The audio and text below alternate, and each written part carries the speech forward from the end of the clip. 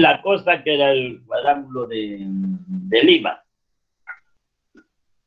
Eh, iniciado ya en el Jurásico el arco volcánico. El arco volcánico continúa funcionando durante todo el Cretácico y está situado siempre sobre la cordillera de la costa. Mm, el tema es de que, bueno, este, este arco volcánico, por la erosión, este, mm, está bien, este, eh, está expuesto en partes. Vamos a tocarlo ahora.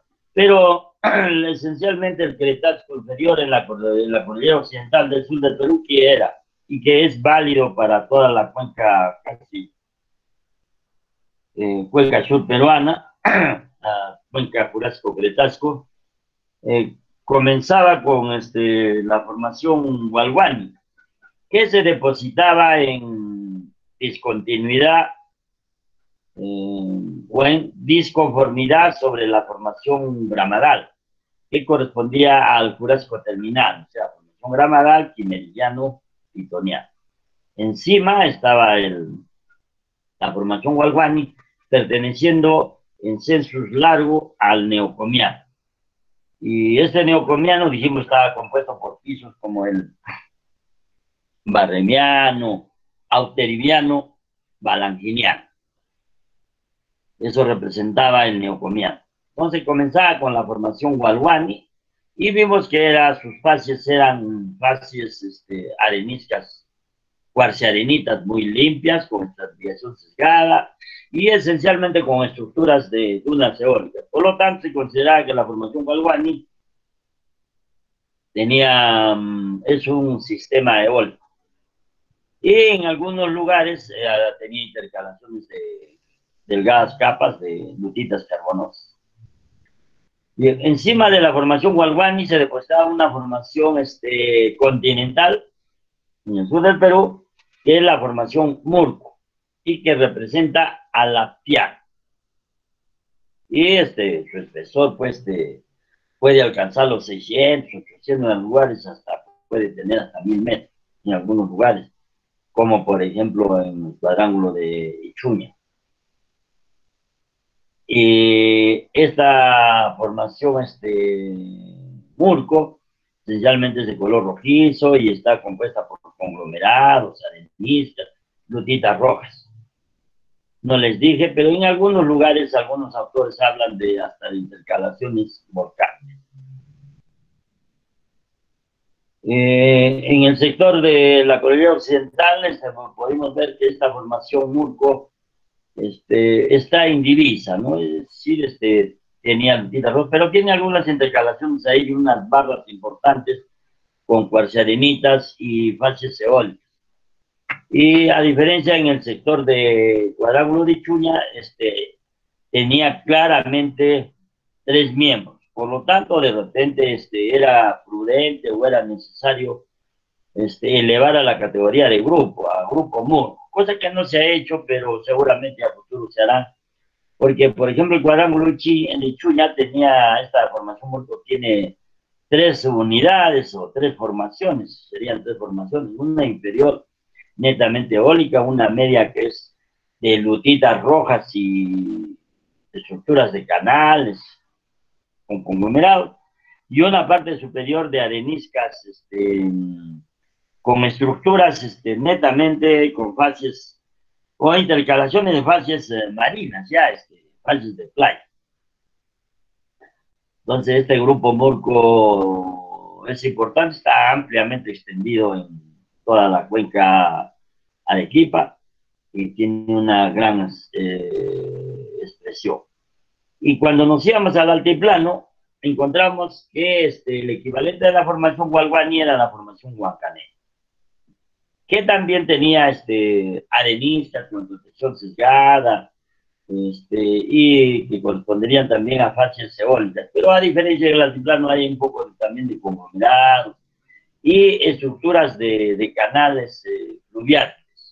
Por lo tanto, entonces podría ser un sistema eólico que tenía algunos... Um, algunos ríos que cruzaban este desierto. Como por ejemplo podemos ver el desierto de Sechura, está cruzado por el río, el río Piura. Igual, este, y algunos, este, el río Piura, este, cruza el desierto de, de Sechura. Entonces, ¿qué tenemos? Salimos de las fases este, fluviales, lateralmente pasamos a un sistema eólico o a un sistema desértico. Entonces, ese tipo de pasos laterales este, se pueden hacer en ambientes continentales, este, es muy normal. Y cuando vayamos, vamos al Perú Central, vimos que este Cretácico inferior estaba compuesto por la formación, este, por el grupo Goyarisquisca,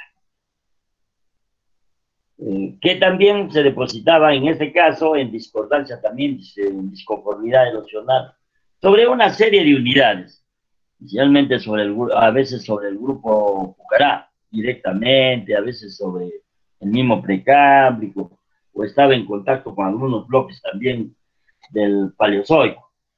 Por lo tanto, este y este grupo Guayachiga estaba compuesto por las formaciones Chimú, Santa, Carhuaz, Parra. Y el equivalente neto de la formación Gualguán y Huancanera, la formación este, Chimú. ¿Por qué? Porque también tenía este, arenita con, con estratificación sesgada y estructuras de dunas eólicas. Por lo tanto, el, sistema desértico en realidad se extendía fue de, sur a norte y, este, y ocupaba prácticamente solamente separados de la cuenca subandina por el umbral de la cordillera oriental. Y en el sector de Lima vimos que en realidad este, había una sedimentación marina. Este, en este Cretácico tenía un auteriviano, balafiniano, marino. Entonces, era un sistema marino que pasaba a un sistema eólico a la cordillera occidental. Entonces vimos claramente que ahí había un sistema de playas muy, muy claro. Muy bien, entonces ese en rasgos generales, ese era el, el, el Cretácico inferior. Y hacia la y hacia el, hacia el oriente, esta formación este, oeste Cretácico inferior estaba compuesto por las este, formaciones, eh, el grupo oriente, ¿no? La formación Cuchabatay, Esperanza, Agua Caliente, que son, este, esta formación Esperanza es de, también este, marina, y esta formación este, Agua Caliente son fases eólicas. Muy bien. Eh, si, es por, si, si eso tenía, este, sin embargo, encima de esta parte, tanto del Goyarisquilla como encima de la formación Murco, venía una sedimentación carbonatada. En el sur del Perú, la formación argentina, y en el centro, las formaciones Inca, Chule y Pareatambo, que también son carbonatadas y que representan al aldeano. Y este albiano también, este, en el corte de Lima, también este, tenía su equivalente carbonatado, que era la formación este, Atocón. Y que de repente parte de estos carbonatos en la parte inferior podría estar prestados también con la formación Pamplona, ¿no? que también tiene carbonato. Pero esencialmente la formación Atocongo es el representante albiano en la cordillera de la costa. Eh, no hemos ampliado más eh, sobre la cordillera de la costa, pero este, eh, en realidad este, tienen que, ustedes también este, hacer ampliación bibliográfica, revisar también los cuadrángulos y van a ver que va a haber más unidades, solo que en una clase pues no podemos tampoco complicar mucho y sobrecargar la clase, entonces hay que hacer también este, un poco de investigación bibliográfica. Y entonces este Cretácico inferior termina en todo lugar con un albiano, con un albiano carbonatado. En el oriente, si bien está esta formación batalla es sedimentación de arenistas, lutitas, esta formación Esperanza sí tiene, son lutitas negras con intercalaciones de, de caliz. Por lo tanto, ese, ese, ese, esa, un, un momentito, es un momentito.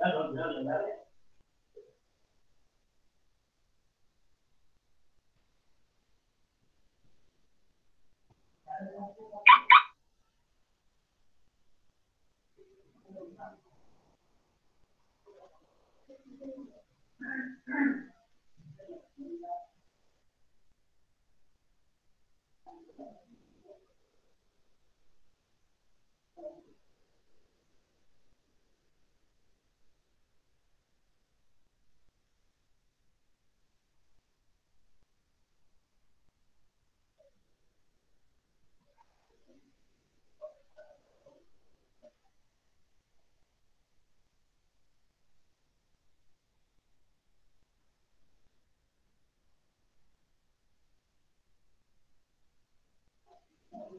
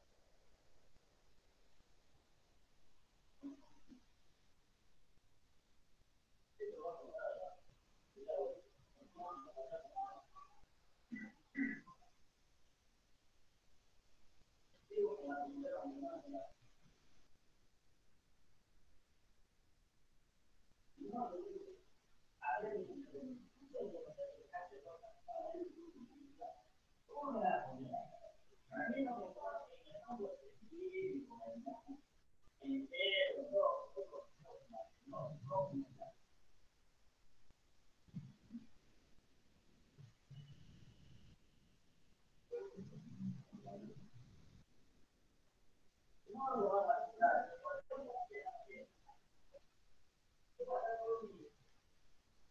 你看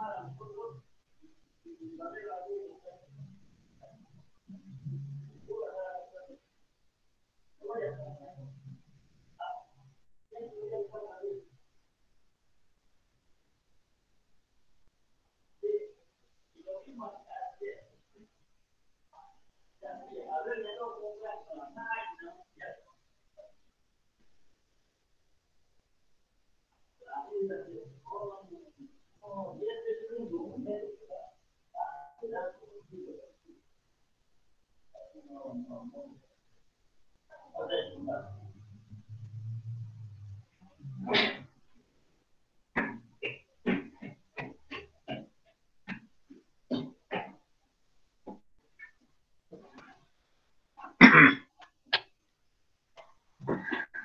Ah, bueno, jóvenes, ahí están.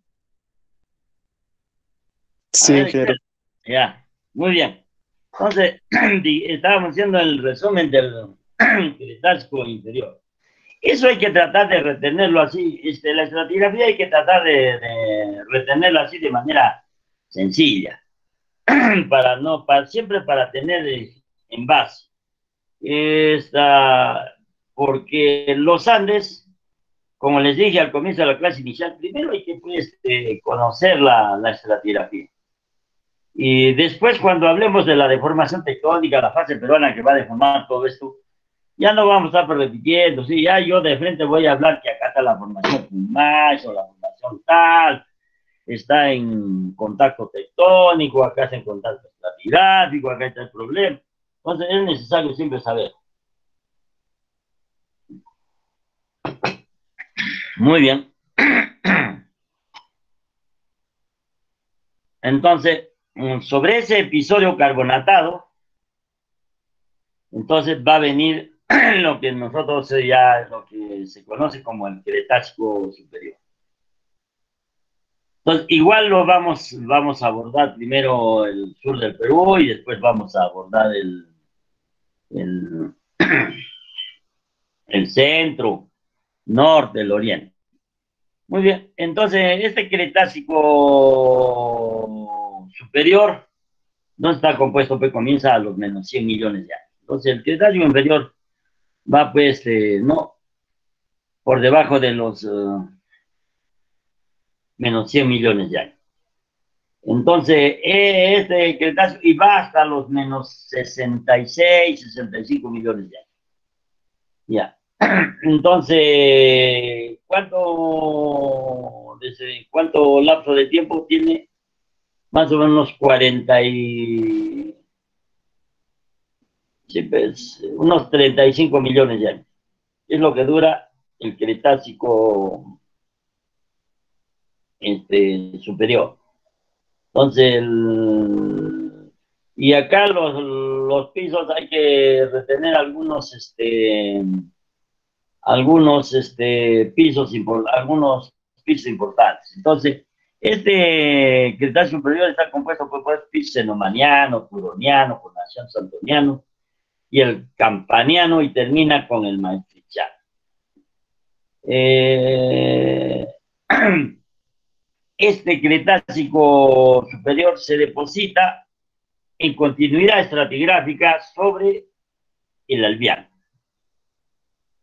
Mm, naturalmente siempre hay este, traslapes, hay este, algunos eh, problemas de ese tipo, pero en general siempre este, este superior se deposita este, sobre en albiano. Entonces, eh, hay que retener una, una, edad importante, hay que retener más o menos los 80 y 83, 85 millones de años.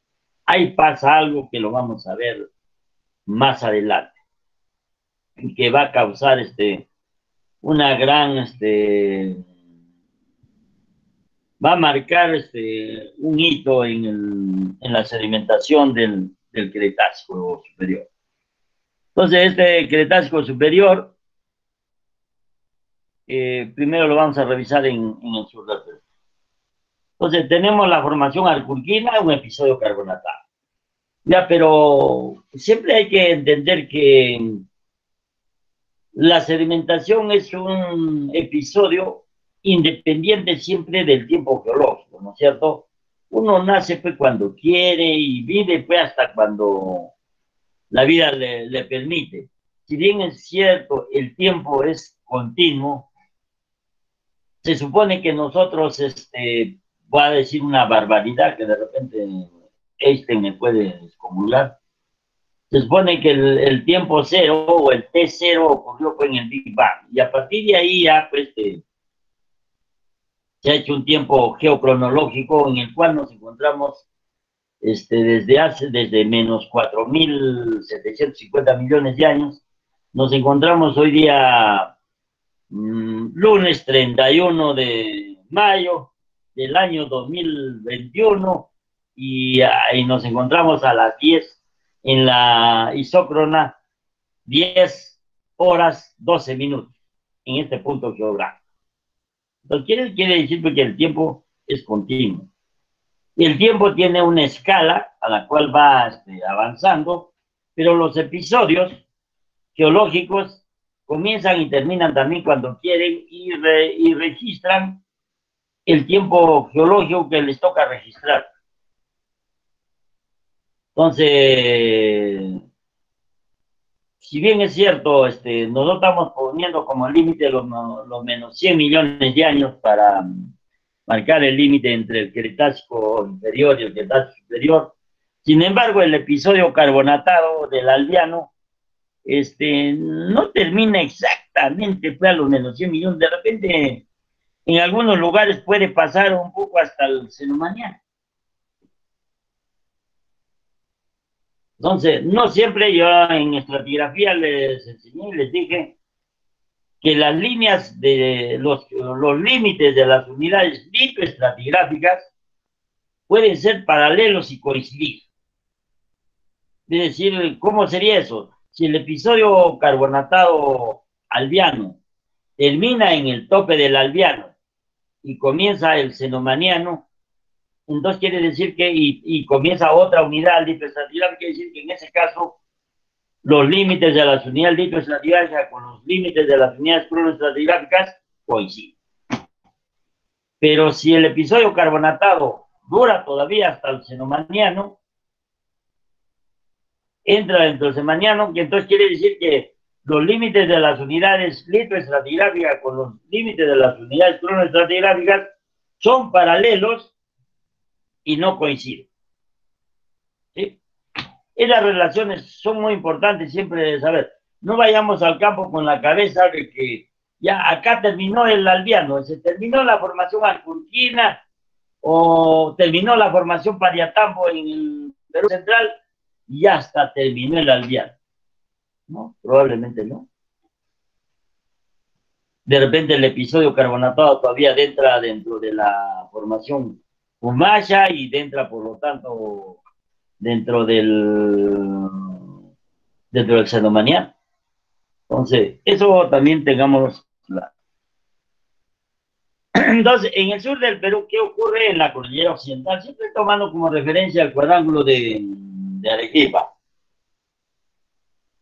No es porque en, realidad el cuadrángulo de Arequipa, pero el cuadrángulo de Arequipa en realidad fue levantado por William James, ¿no es cierto? Pero en realidad marca un hito a partir del cual se va jalando toda la estrategia y reconociendo las unidades a medida que avanza la cartografía fue del sur del Perú.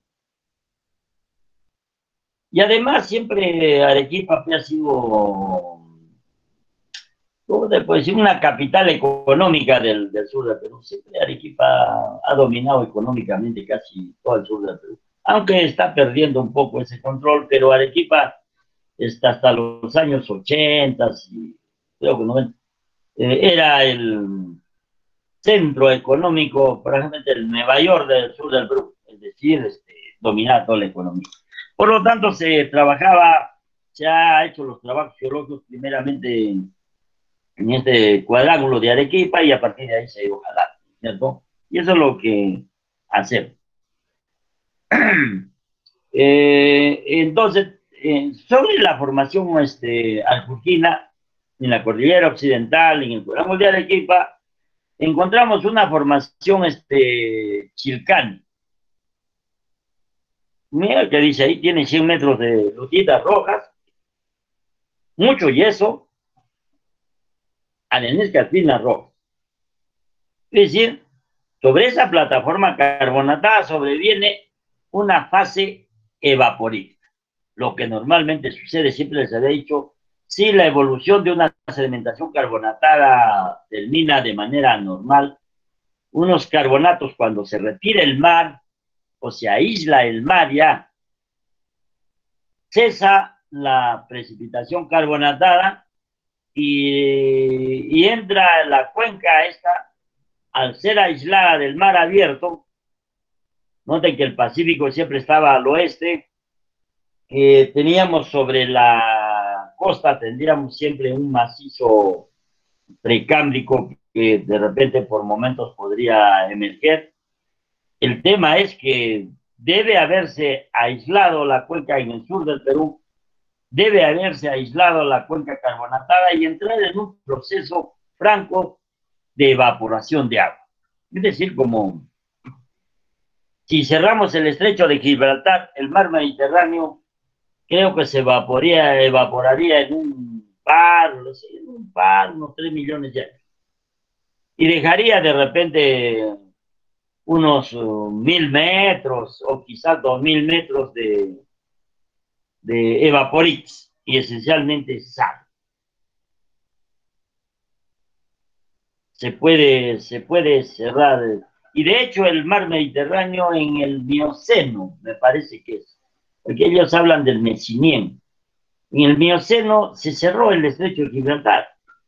Y entonces el mar Mediterráneo se prácticamente se evaporó y ahí tienen como mil, casi dos mil metros de, de sal en el fondo oceánico del mar Mediterráneo.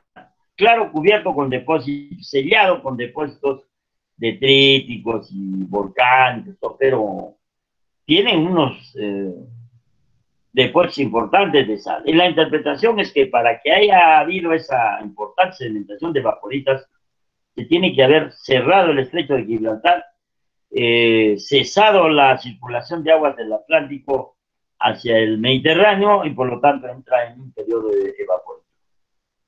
Es igual que, por ejemplo, el lago Titicaca, el lago Popó de Bolivia y este, el salar de Coipasa, me parece. Eh, todo eso era una cuenca lacustre este, unida, es decir, este, sin embargo, este, al, haber cambio climático, se ha comenzado al rellenarse también estos lagos y al haber este cambio climático, menor disponibilidad de agua dulce, han entrado en procesos de evaporación.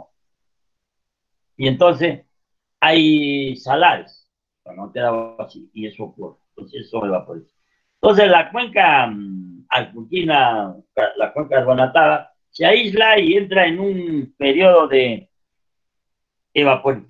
Y entonces tenemos la formación Chilcane, que en Arequipa se le ha puesto formación Chilcane, por más a un paraje que hay ahí que se llama Chilcane. Pero hacia Guambo, hacia el Valle del Colca, este, le han cambiado el nombre y le llaman, eh, Guambo le llaman la formación Ashua. Y hacia el Valle del Colca, por ahí también, por eso alrededor también le han puesto la formación Querulpa. Pero en realidad es el mismo episodio evaporítico. Entonces, este, aquí en el sur del Perú, entonces se aísla y da lugar a una sedimentación evaporítica. Y encima de esta sedimentación evaporítica, aquí tenemos un gran problema, ¿no? Algunos geólogos dijeron, bueno, este, esta formación chilcane, si son evaporitas, termina la sedimentación marina del Cretácico le asignaban una edad campano marciano, o sea, como Cretácico terminal. Y entonces teníamos un gran problema. Como si la formación arculquina solamente representa al aldeano. Otra pregunta que hay que resolver también a futuro. En realidad en la formación arculquina solamente hay el aldeano. O de repente en la formación arculquina todavía hay aldeano, hay aldeano, senomaniano, turoniano, conaciano. Eso tampoco no está descartado. Pero por fines de enseñanza y no complicar en la vida a ustedes, ustedes se quedan que la formación argentina es el aldeano. Pero ya les digo que de repente hay más que el aldeano. Es decir, que puede haber una sedimentación, ustedes en sedimentología de repente han estudiado de repente de fases comprimidas. Es decir, que puede suceder de que haya una sedimentación muy lenta y que deposite poco espesor y que en ese poco espesor haya varios pisos. Decía, haya aldeanos, mañana, tunaniano, nación santoniano, puede haber todo. En, en 450 metros de, de caliz, puede haber. Puede suceder. O bien, una formación de 600 metros, ni siquiera este, representa todo un piso completo.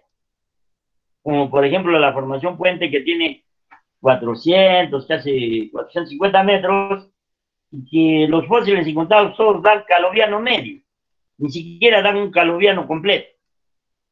Pues puede suceder eso. Entonces, como ven, la estratigrafía está hechecita, claro, yo se lo estoy enseñando, todo, pero no todo puede estar resuelto, ni todo está ya dicho. A futuro van a haber mejores este, equipos para hacer análisis, va a ser de repente la bioestratigrafía de alta resolución de repente dentro de la formación arcurguina y resultan apareciendo los pisos que faltaban ahí dentro de la formación arcurguina. Porque para nosotros tenemos el albiano y de repente tendríamos la formación chilcane que es de Cretáceo terminal. Pero resulta que no es, inicialmente se pensaba que era el Cretácico terminal la formación chilcana. Ahora vamos a ver más que no es así, como lo vamos a ver ahora. Por ejemplo, esta formación Kerke de, de, 450 metros, que ya es netamente detrítica, que está encima de la formación Chilcane. Miren, tiene 350 metros de arenisca rojo ladrillo, ya son rojas. Entonces, sobre esas evaporitas, ¿qué viene? Viene lo normal que vendría, por programación, ¿qué debería venir si estamos en, regresión? ¿No? Para que haya habido una plataforma carbonatada encima de vaporitas, ya entramos en un proceso regresivo. Y entonces, si hay regresión, ¿qué bien debe venir sobre las vaporitas? Toda la sedimentación continental, que debe venir fases pluviales. Bueno, en este caso tenemos 350 metros de arenisca rojo ladrillo y conglomerados. Y esos conglomerados que tienen granitos. Ah, pero todavía hay acá unos lentes de caliza. Y eso permitió hacer un descubrimiento, ¿no? De que estas calizas muy fosilíferas dieron edad después del xenoniano, xenomaniano, xenoniano. Noten acá, está xenomaniano, turoniano, conociano, santoniano. Hay acá, por aquí, este, eh, hay en algunas tablas, hay un piso acá que todavía le ponen el, el, xenoniano por acá. ¿Ya? Y entonces, resulta que dan una edad xenoniana. Y tiene todavía este, 100 metros de arenisca. O sea que hay 450 metros de una sedimentación continental, en la cual todavía hay Cretácico Superior, Census Labs. Caray, ya me bajaba a firmar un documento, ahora llega otro documento. Sí, señor secretario. ¿Está usted en la puerta? Sí. Ya, en este momento va. Señores alumnos, disculpen un momentito, voy a bajar a,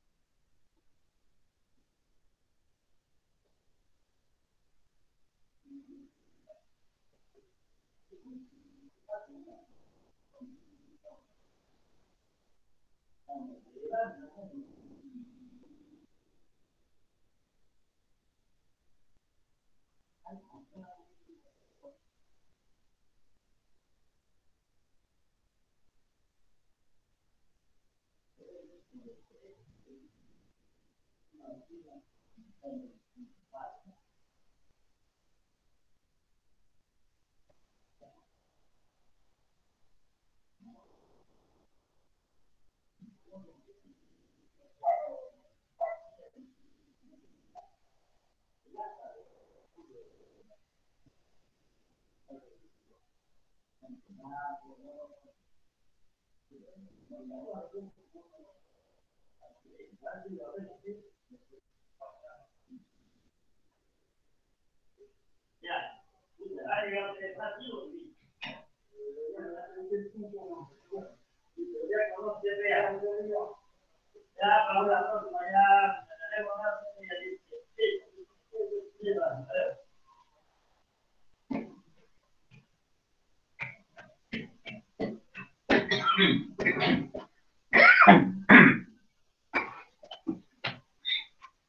Eso de ser decano, a veces me arrepiento de haber hecho eso. A veces no, me estoy arrepintiendo. Muy bien, entonces nos quedamos de que sobre esta formación chicane, entonces, un poco de agüita. Y ya llegan pues las fases continentales. Y acá más o menos hay este 450 metros de una sedimentación continental que prácticamente recubren esta sedimentación evaporítica. Y encima viene y todavía es este eh, sí, dígame.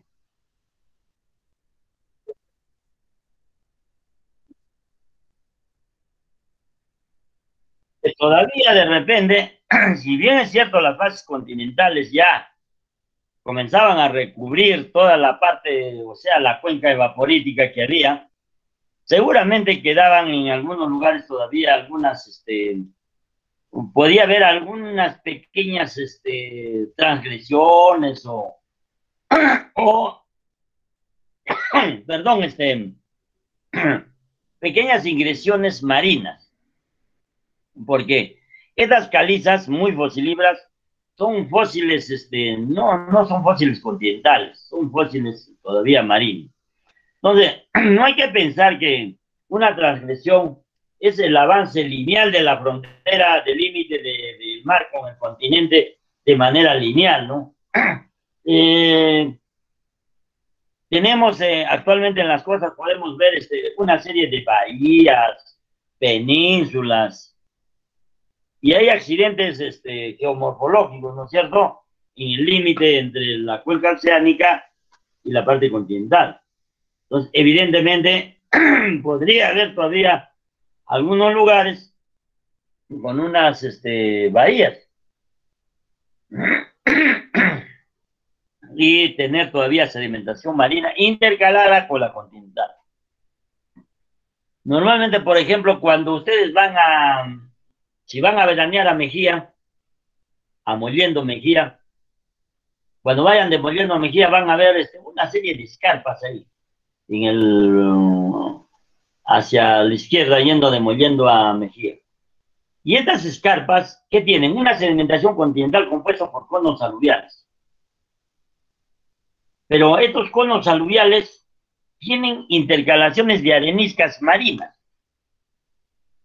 Areniscas marinas con este, retos fosilíferos, puede los marinos.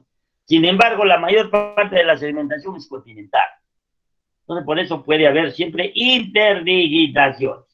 Por eso es que todavía este, se depositan algunas calizas ahí que han dado una edad ceremonial. Entonces, quiere decir que la formación chilcane hay que ponerla pues más abajo. Probablemente la formación chilcane este, tenga pues algo de xenomaniano, xenomaniano, turoniano, probablemente haya dentro de la formación chica y que este todavía esté con Asiano, Zenomiano acá, este es este ya continental y está dentro de la formación Kerk. Entonces, como no tenemos este, generalmente las segmentaciones continentales, usted encuentra usted fósiles, a veces le encuentra usted restos de plantas o puede encontrar, ahí es difícil encontrar un poco de fósiles. Pero sin embargo, si hacemos bioestratigrafía de alta resolución, esta formación chicane, que de repente vamos a poder establecer bien claramente el Cretácico superior, el Cretácico terminal, de repente vamos a encontrar el cámpano maestriciano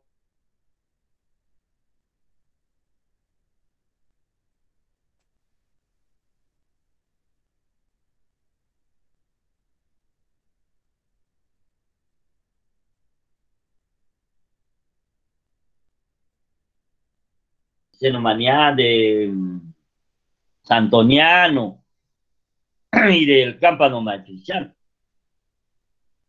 Lo que sí, más bien, encima de esta formación Kerke, que tiene esta centrificación marina, viene esta formación Uchurca, que tiene un espesor espectacular, 1500 metros. Ya de, miren, mil. Ya, pero ahí hay, hay, hay, hay volcánica. Entonces, el arco volcánico sigue funcionando, pero el arco volcánico en este caso es continental. A diferencia del arco volcánico que está en el Jurásico, Cretácico inferior, probablemente hacia el Cretácico superior, el arco volcánico ya se vuelve netamente continental. Tal como lo vemos actualmente, ¿no? El arco volcánico actualmente, ¿dónde está situado el arco volcánico? Si vemos el sistema de subducción, tenemos la plataforma carbonatada, tenemos este, la cordillera occidental, pero el arco volcánico ahora está situado sobre la cordillera occidental y está funcionando. Ahí tenemos este, los volcanes Sarazara, este, eh, Coropuna, Ampato, Hualcahualca, este, y el que está funcionando actualmente en el volcán Sabancaya, el Chachani, el Misti. Eh, después hacia allá vamos al Totupaca, al Yerupaca, todo el arco volcánico actualmente sigue funcionando, pero ya está situado sobre la cordillera occidental, en un ambiente netamente continental, de tal manera que el arco volcánico ya no está en borde y está este, este, limitando una cuenca marina. En este caso ya se sitúa en un ambiente continental y es un poquito más complicado porque ya está en una zona deformada. Eso lo vamos a ver más adelante. Entonces, aquí tenemos esta formación uchurca de 1500 metros. Bien, tienen el, un volcán, plazos de caliza, de ¿Qué, ¿Qué hay que decir acá? que realmente la sedimentación marina, al terminar con las evaporitas, ahí termina pues la sedimentación marina. Y cuando aparece, comienzan a aparecer estos conglomerados, esos conglomerados, miren que es arenita rojo ladrillo, está compuesto de granitos y arenistas, lentes de caliz, que hay ahí, ¿no es cierto? Pero 100 metros de arenisca conglomerado, para que aparezcan conglomerados, quiere decir que hay relieves ya. Entonces, hasta la formación chilcane, o sea, el aldeano que, que tenía una cuenca marina, un mar interior, tiene la formación chilcane evaporitas, todo está tranquilo, y de repente se evaporitas comienzan a recibir materiales con eh, gruesos ya, arenitas rojas y conglomerados. Quiere decir que ya hay formación de relieve. Pero si tenemos una cuenca cementaria donde todos los después están horizontales, ¿dónde están esos relieves? Y entonces los conglomerados vienen de granitos y areniscas. ¿Ya? Entonces, esos conglomerados provienen de relieve creados entonces probablemente ya por la deformación tectónica del relleno sedimentario jurásico, cretácico inferior y parte del cretácico superior. Quiere decir que casi a la mitad del cretácico superior probablemente comenzó la deformación del relleno sedimentario y la creación ya de relieves, para que esos relieves sean erosionados y produzcan conglomerados y la cosa ya se agrava y se empeora cuando ya la formación chuca ya tenemos mil metros de conglomerados y con mucho material volcánico, calizas, areniscas. ¿De dónde son esas calizas? Probablemente pues de la formación argentina. Y areniscas, ¿de dónde provienen? De las formaciones ya Puente, Cachío, Labra, que tienen areniscas. Y entonces para que esas, esas unidades comiencen a producir materiales, quiere decir que tienen que haber sido creados relieves, plegados, y el plegamiento produce relieves.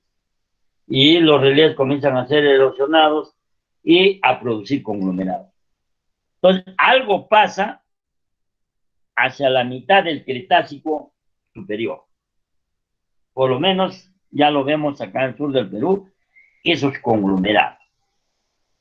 Después vamos a hacer un poco de correlación con el Perú central y el norte para ver en realidad qué es lo que pasa. Entonces, esta formación Uchurca, 1500 metros, más 450, estamos casi con 2000 metros de materiales ya, pues ya 2000 metros. Entonces, esos 2000 metros se depositan en qué? Ya en unas cuencas continentales. Esas cuencas continentales tienen que ser cuencas intramontañosas. Entonces, cuando veamos, este, creo que cuando hemos hecho clasificación de cuencas sedentarias hemos visto que son las cuencas intramontañosas, ¿qué son? Son cuencas que se desarrollan sobre un sistema montañoso que está en formación. Entonces, de un lado se elevan relieves y de otro lado quedan rezagados algunas áreas sobre las cuales esos relieves altos van a producir materiales y esos materiales se van a depositar en esos lugares bajos que van a ser las cuencas intramontañosas. Entonces, ¿qué prueba estos conglomerados? Que aquí ya hay desarrollo de cuencas continentales intramontañosas. El mar se retiró, se evaporó con la formación chilcana, y bueno, la formación chilcana es poco espesor, pero ya pues este, ya no queda nada y ya se crean cuencas intramontañosas. Y quiere decir que el relleno jurásico cretácico inferior, cretáceo medio, comienza probablemente a deformarse y a crear relieve. Todavía no voy a hablar quién lo ha deformado, ni, ni qué es lo que ha pasado.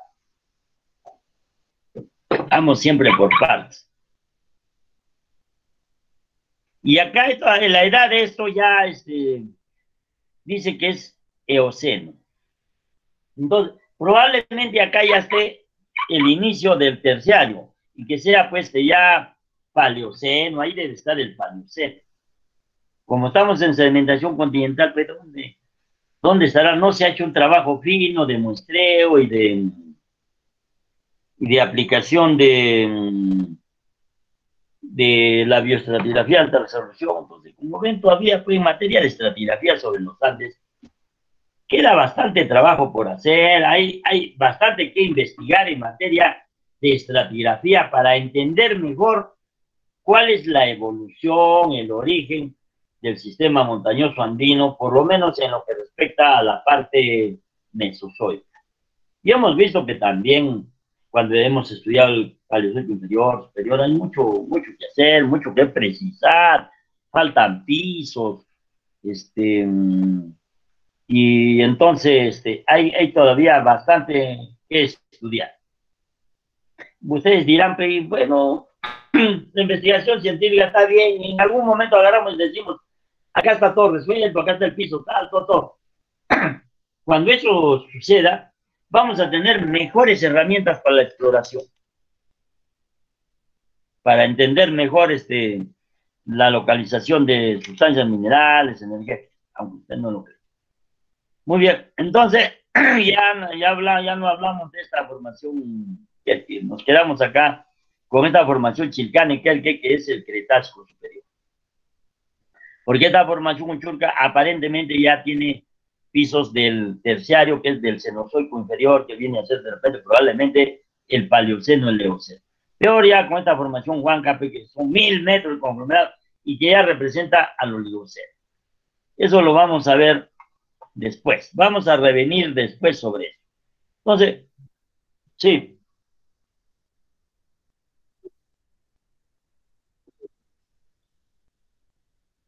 Perdón, no, cam no cámbrico.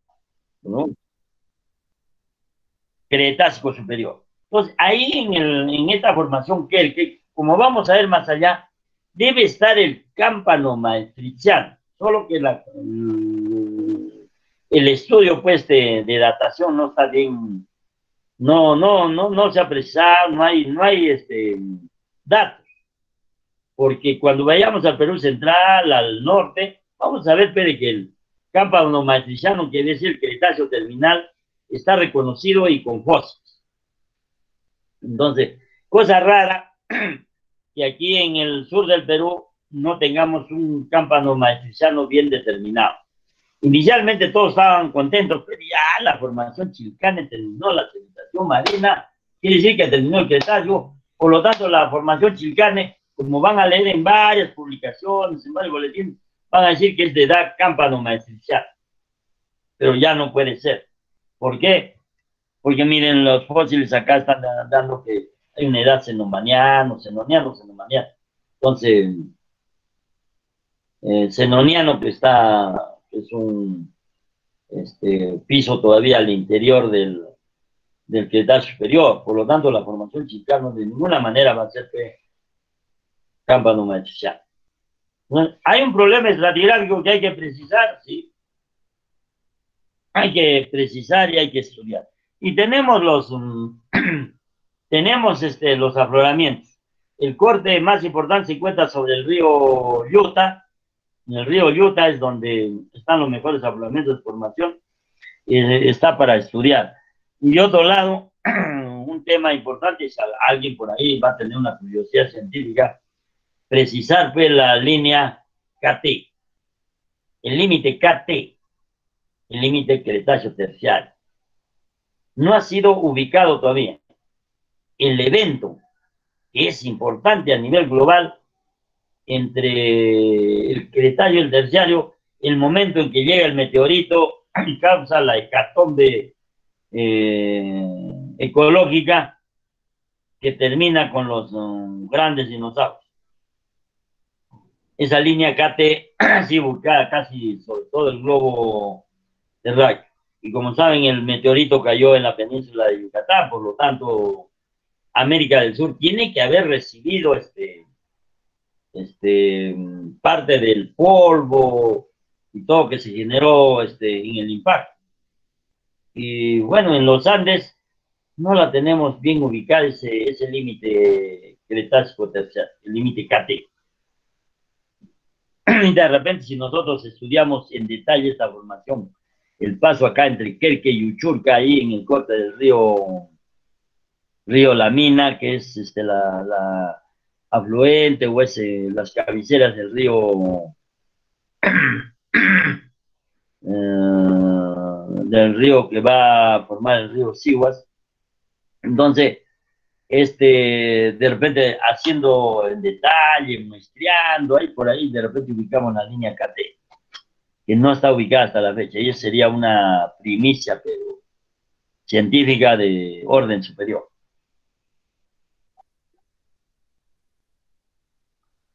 ¿Sí? a ver, de iridio. Es una línea que, puede ser de unos, en algunos lugares tiene hasta 5 centímetros, en algunos lugares puede tener simplemente unos 2, 3 centímetros. Y de una lutita, de un polvo, que sería una lutita, porque cuando cayó el meteorito debe haber estado pues siquiera este, unos 10 años y quizás más, nublado por el polvo y el polvo ha tenido que estar decantando, porque los dinosaurios pues, eh, no van a desaparecer en un día.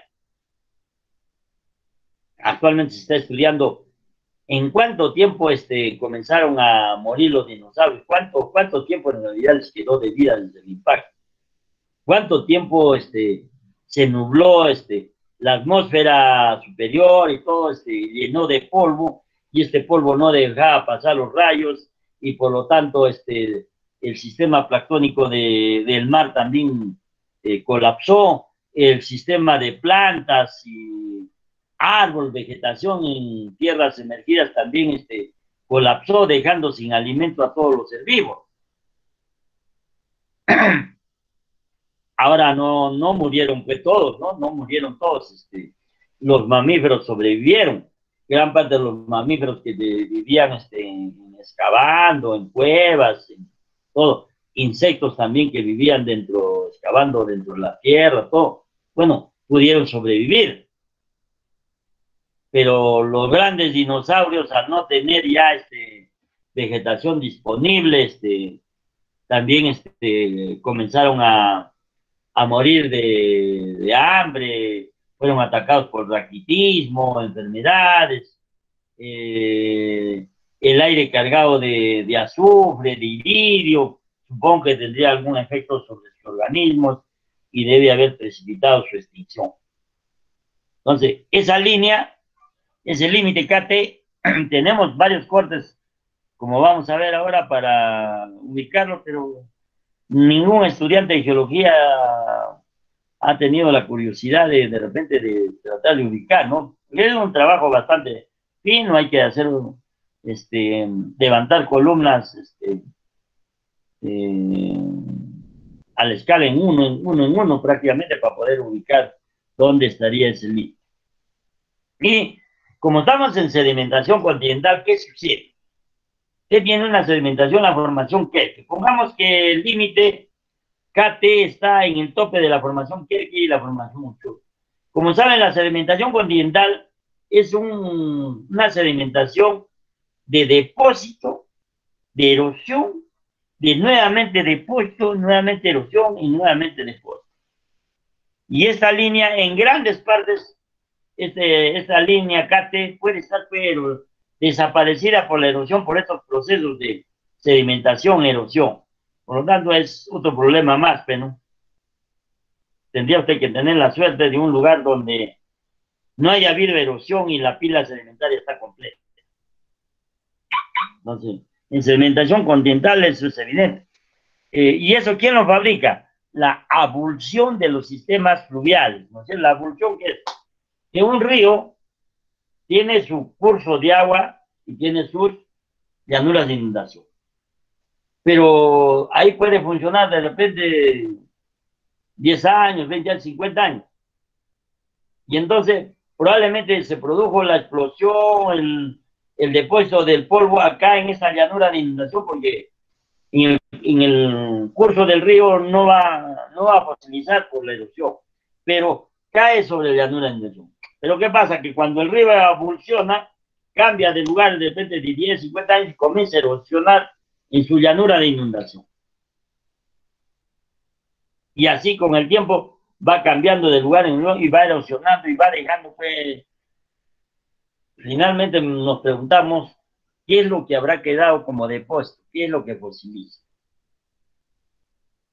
Entonces puede usted tener que si el río estuvo acá y después evolucionó para acá, queda este pedacito donde todavía está la llanura de inundación, probablemente el río se cambió para acá, la llanura de inundación sigue siendo acá, lo recubre dentro de la llanura de inundación y puede quedar fosilizado. Entonces, podemos pensar lo siguiente, que en algún lugar tenemos que buscar esta, este límite, tiene que ser en algún lugar donde las llanuras de inundación han sido preservadas de manera continua.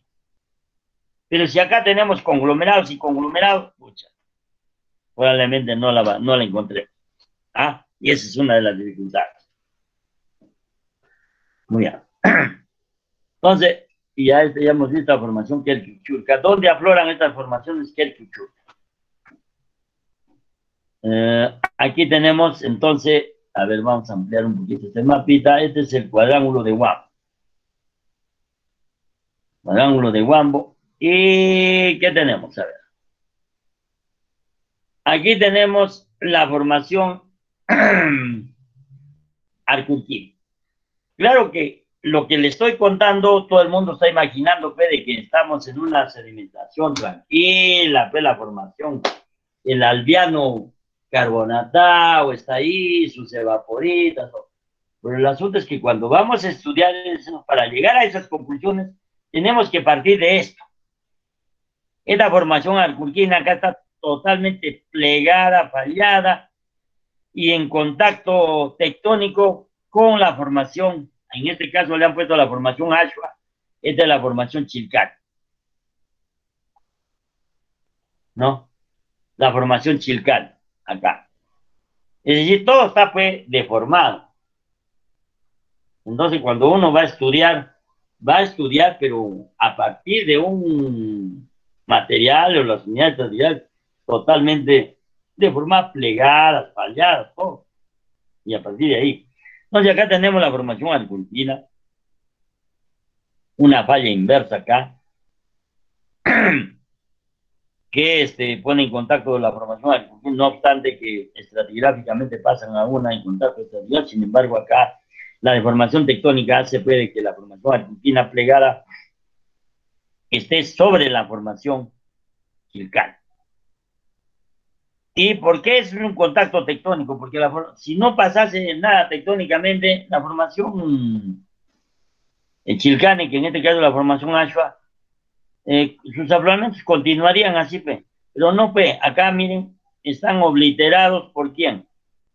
Por este bloque P deformado de la formación argentina que este, cabalga sobre la formación chilcana. Muy bien, la formación chilcane, como pueden ver acá hay un buzamiento hacia el sur, acá casi un poco hacia el norte. y encima de esta formación chilcane acá, acá está el río, río, río La Mina, ¿no? Río, ¿qué dice? Río Tampay, vamos a ver qué se llama. El río La Mina, ahí está el río La Mina. Y este río, este va, es un afluente del río Chihuas. Eh, Muy bien. A ver un momentito.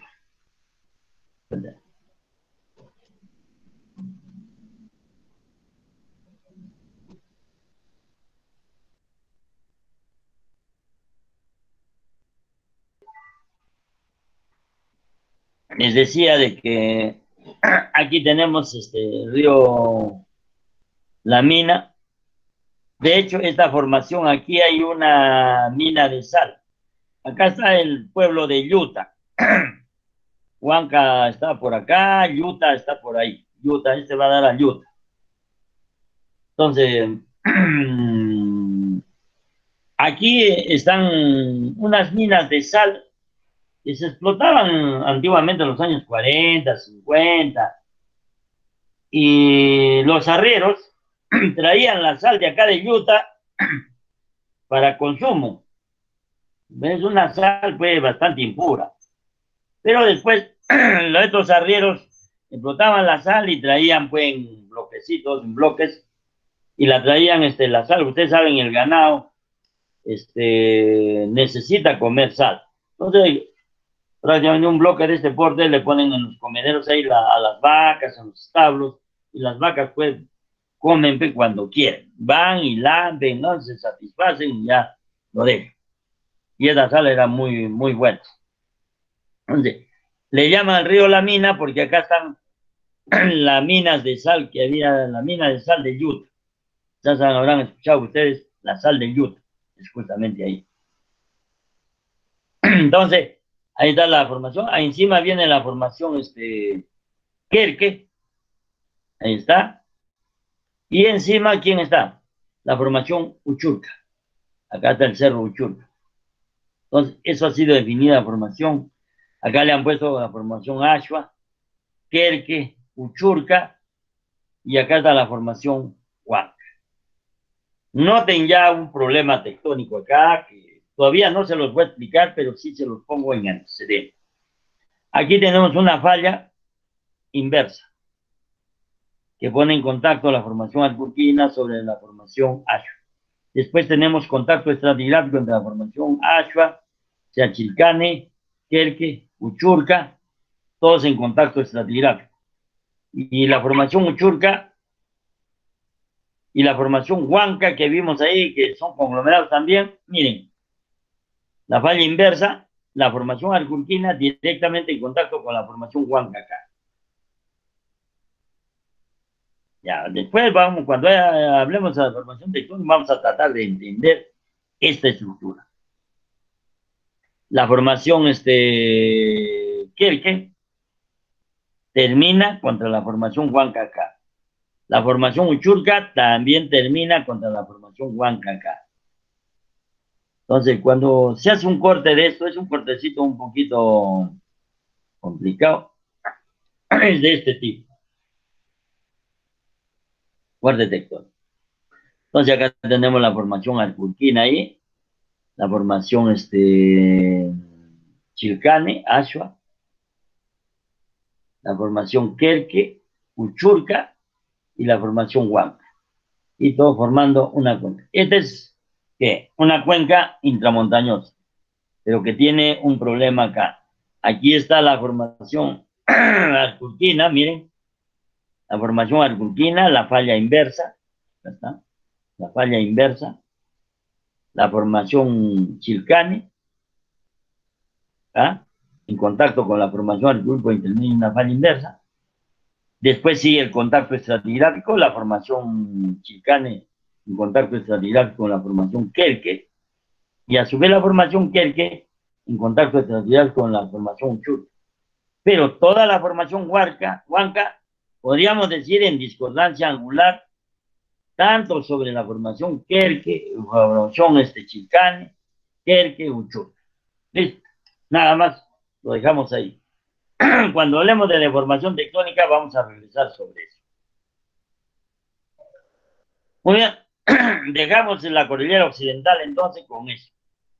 Formación Chilcane, Kerke y Uchurca probablemente ya sea terciaria. Vamos al altiplano. Entonces, en el altiplano que encontramos, vamos a ver este cortecito. Siempre vamos al sector de Cabanillas. Aquí está la carretera que va a Culiaca a Cabanillas. Y acá está eh, la formación Cabanillas del Devon.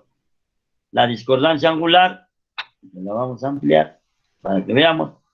La discordancia angular, entonces acá entre unos conglomerados que les dije que se está discutiendo que son conglomerados térmicos, fue la base del Pero acá está la formación Huancané, que acá le han puesto la formación Aniso, pero, es la formación Huancané.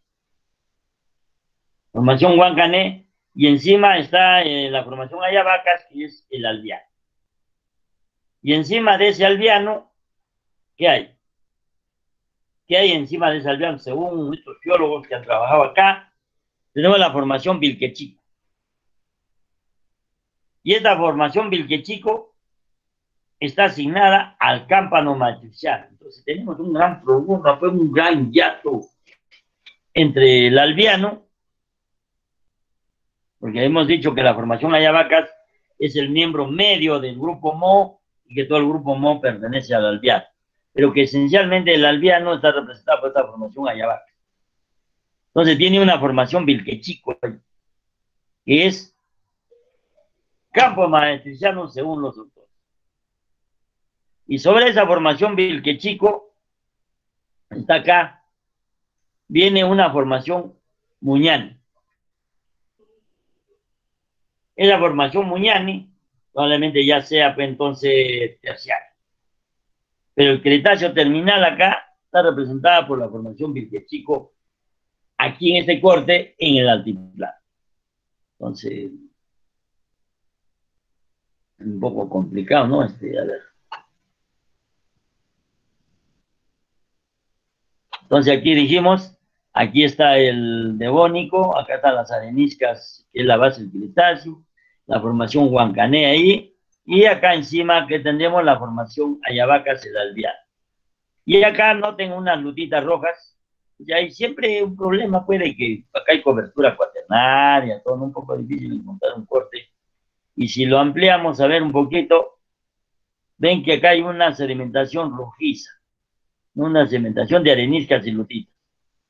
Eso para esos geólogos dicen que es la formación Vilquechico y su edad es cámpano matriciano. Entonces, ¿qué nos falta ahí?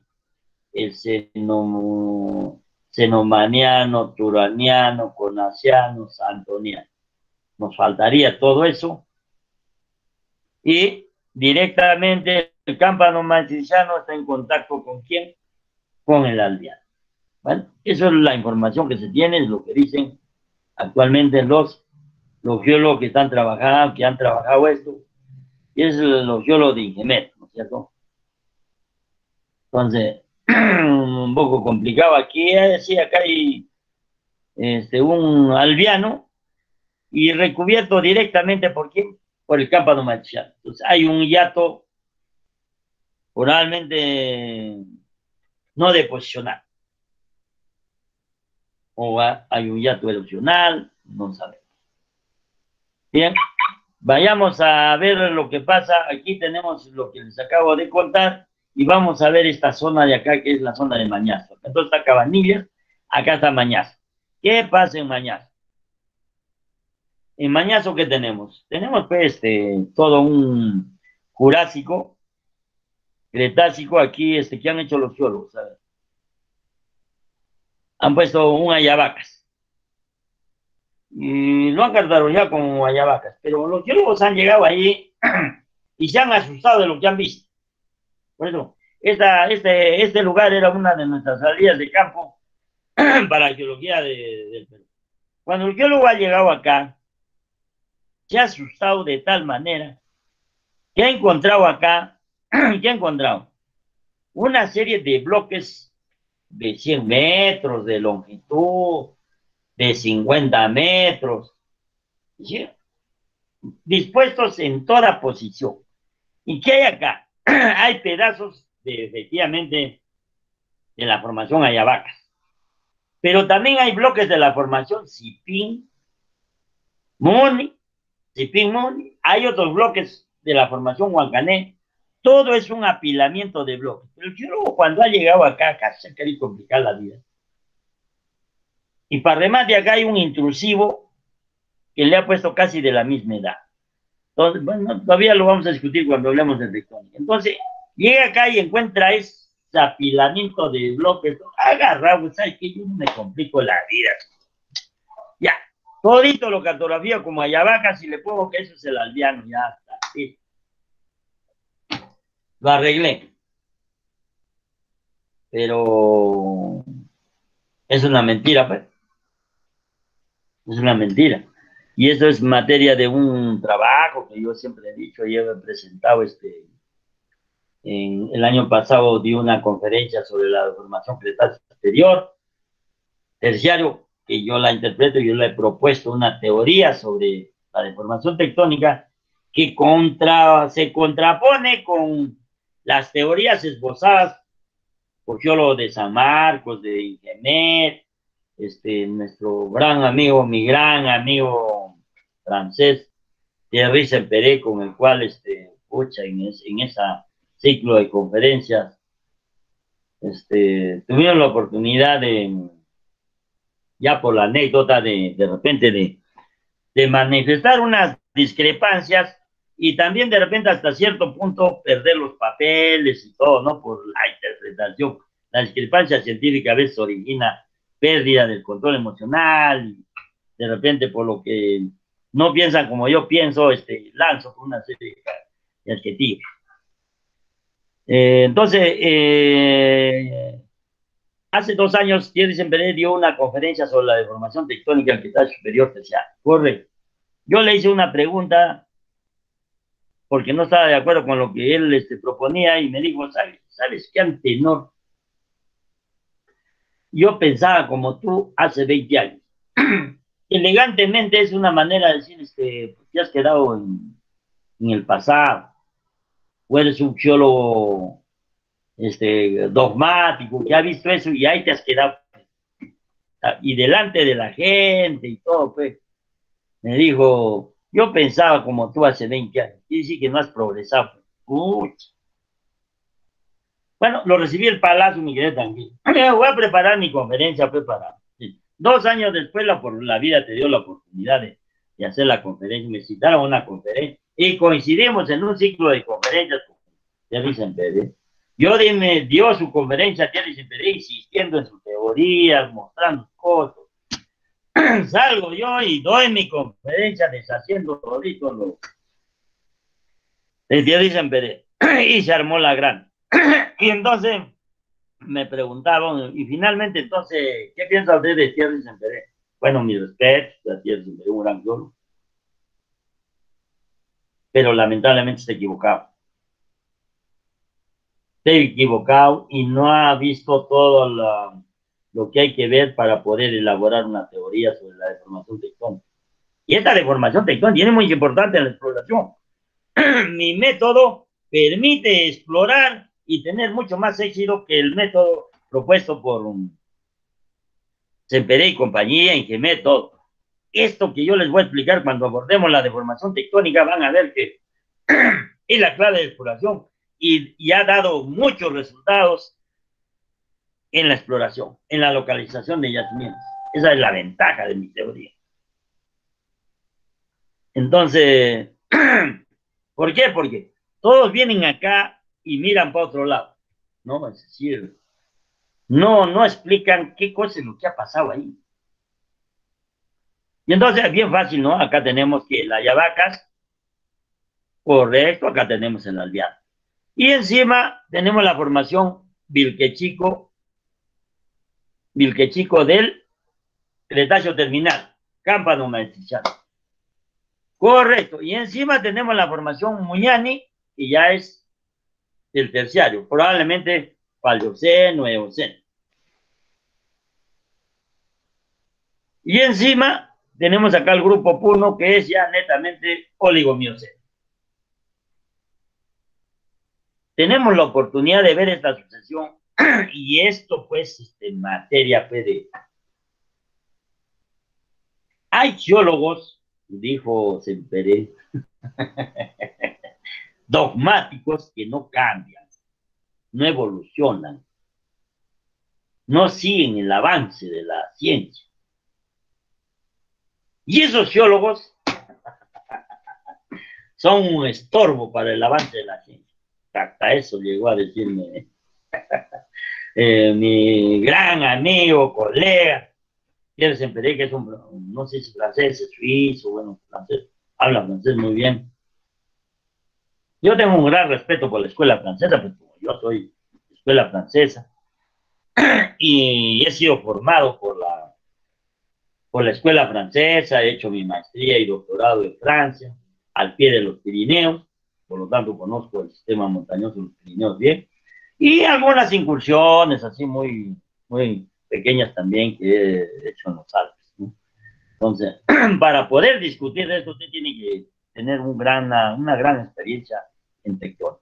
Van a ver que después va a ser bien bonito cuando lo, interpretemos. Lo interpretemos. Pero por lo menos la estratigrafía del altiplano lo que tienen que hacer ustedes es retener lo siguiente. Acá tenemos un albiano con la formación, en contacto con la formación Vilquechico y en contacto con la formación mundial. Miren acá una minita, aquí, acá un intrusivo terciario que es prácticamente mioceno. Acá hay otra minita por aquí. El problema es el siguiente. Que el geólogo de Ingemet que ha ido por acá probablemente le ha chuntado bien a la estratigrafía. Ha reconocido la formación Vilquechico, Muñani, por correcto, ha hecho una Pero ¿dónde se ha perdido? Este contacto que hay acá entre lo que es el grupo Yura y la formación Ayavacas es una falla inversa. Sin embargo, este geólogo, para no complicarse la vida, ¿Qué vaina le ha puesto un contacto estratigrafíco? Ya no quiero ver eso, no. Sinceramente, si él pone una falla ahí, sin embargo, otros geólogos sí lo pusieron, pero él no, agarró y metió. Y este de acá, este contacto entre la formación Vilquichico y la formación Ayavacas, también es una falla inversa. Pero el geólogo de Ingemet le ha puesto una falla, un contacto estratigráfico, ya, pues no me hago problema. A otro perro con ese hueso. Aquí este geólogo, miren, este geólogo que lo hizo mucho más antes, sí vio, miren, el contacto entre el grupo Yura y la formación Ayavacas es una falla inversa. Correcto, yo estoy completamente de acuerdo con ese geólogo.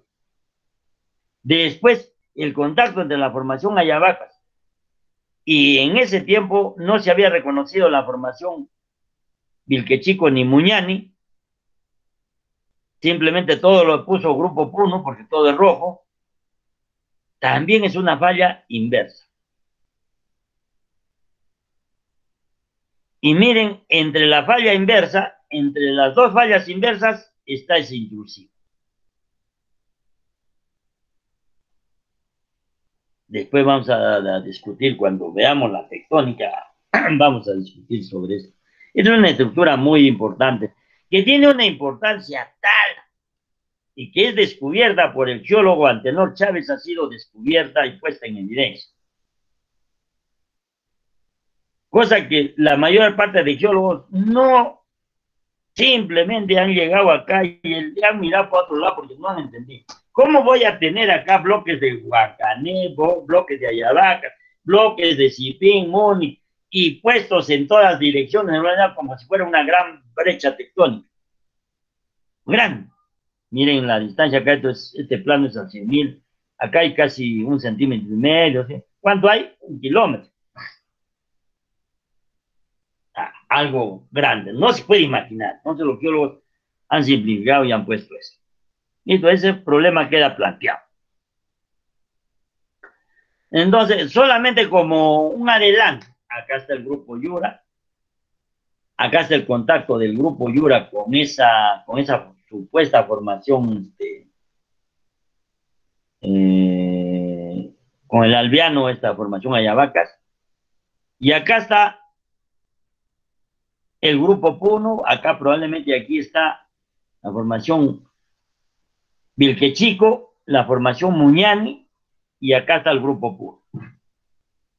Pero noten, después vamos a ver lo siguiente. Miren este bloque de la formación Ayabacas. Miren este bloque cruzado acá. Miren este pedazo de este bloque acá. Miren ese bloque en esa posición.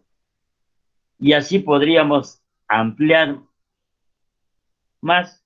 Y vamos a ver que aquí, miren este bloque acá, este bloque echado acá, este bloque cruzado acá, este bloque, este bloque pulsando para acá, este bloque pulsando así, con este, el otro. Aquí un bloque replegado y decir, cuando los geólogos han llegado y han mirado esto, eh, un auto perro con su hueso. No, no, no, ¿qué será eso? Póngale, mapealo, ponle un contacto estratigráfico acá y ponle otro contacto estratigráfico acá y listo, ponle todo esto al viaje, ya está, y acá, ya está, no importa el, el la formación Vilquechico, el cámpano maestrichano, el paleoceno, el leucino y acá el mioceno. Ya está arreglado. Qué bonito. Y ya está bonito, Perfecto, no hay nada que hacer. Pero explícame esto. Explícame este bloque, explícame esto, explícame por qué este bloque está así, por qué este está así, por qué este está así, por qué este está roto acá, por qué está el otro allá. Aquí estos bloques así, este usando así. Aquí otro. Y, esto no es nada. Después vamos a ver otros afloramientos donde la cosa está peor. Pero no hay una explicación. Solamente llegó el geólogo Antenor Charles y ya, pues, geólogo Antenor Charles sí. Sí lo ha resuelto. Y eso lo vamos a ver en una próxima clase. Listo. Entonces acá, bueno, acá hay otro tipo de estructura que la vamos a ver después. Ya, vamos a seguir más adelante y ya esto así. Y este, esto también lo vamos a ver después, lo vamos a retomar. donde pueden ver claramente aquí un bloque en esta posición, otro bloque en esta posición, otro bloque usando acá, algo acá replegado, algo para acá. Aquí miren esta, esta estructura aquí, como una especie de antilinal plegado ahí y otras cosas más. Entonces, la cosa está terrible. Y vamos a ver después cómo se Vayamos al otro lado del lago Titicaca. ¿Qué dice la estratigrafía al otro lado del lago Titicaca? Entonces, al otro lado del Titicaca, ¿qué dice? Ahí está mm, un poquito más, vamos a Ya está. Y entonces, ¿Qué teníamos en el Jurásico? Terminar la formación Cipín Muni. Ya está la formación Cipín Muni acá.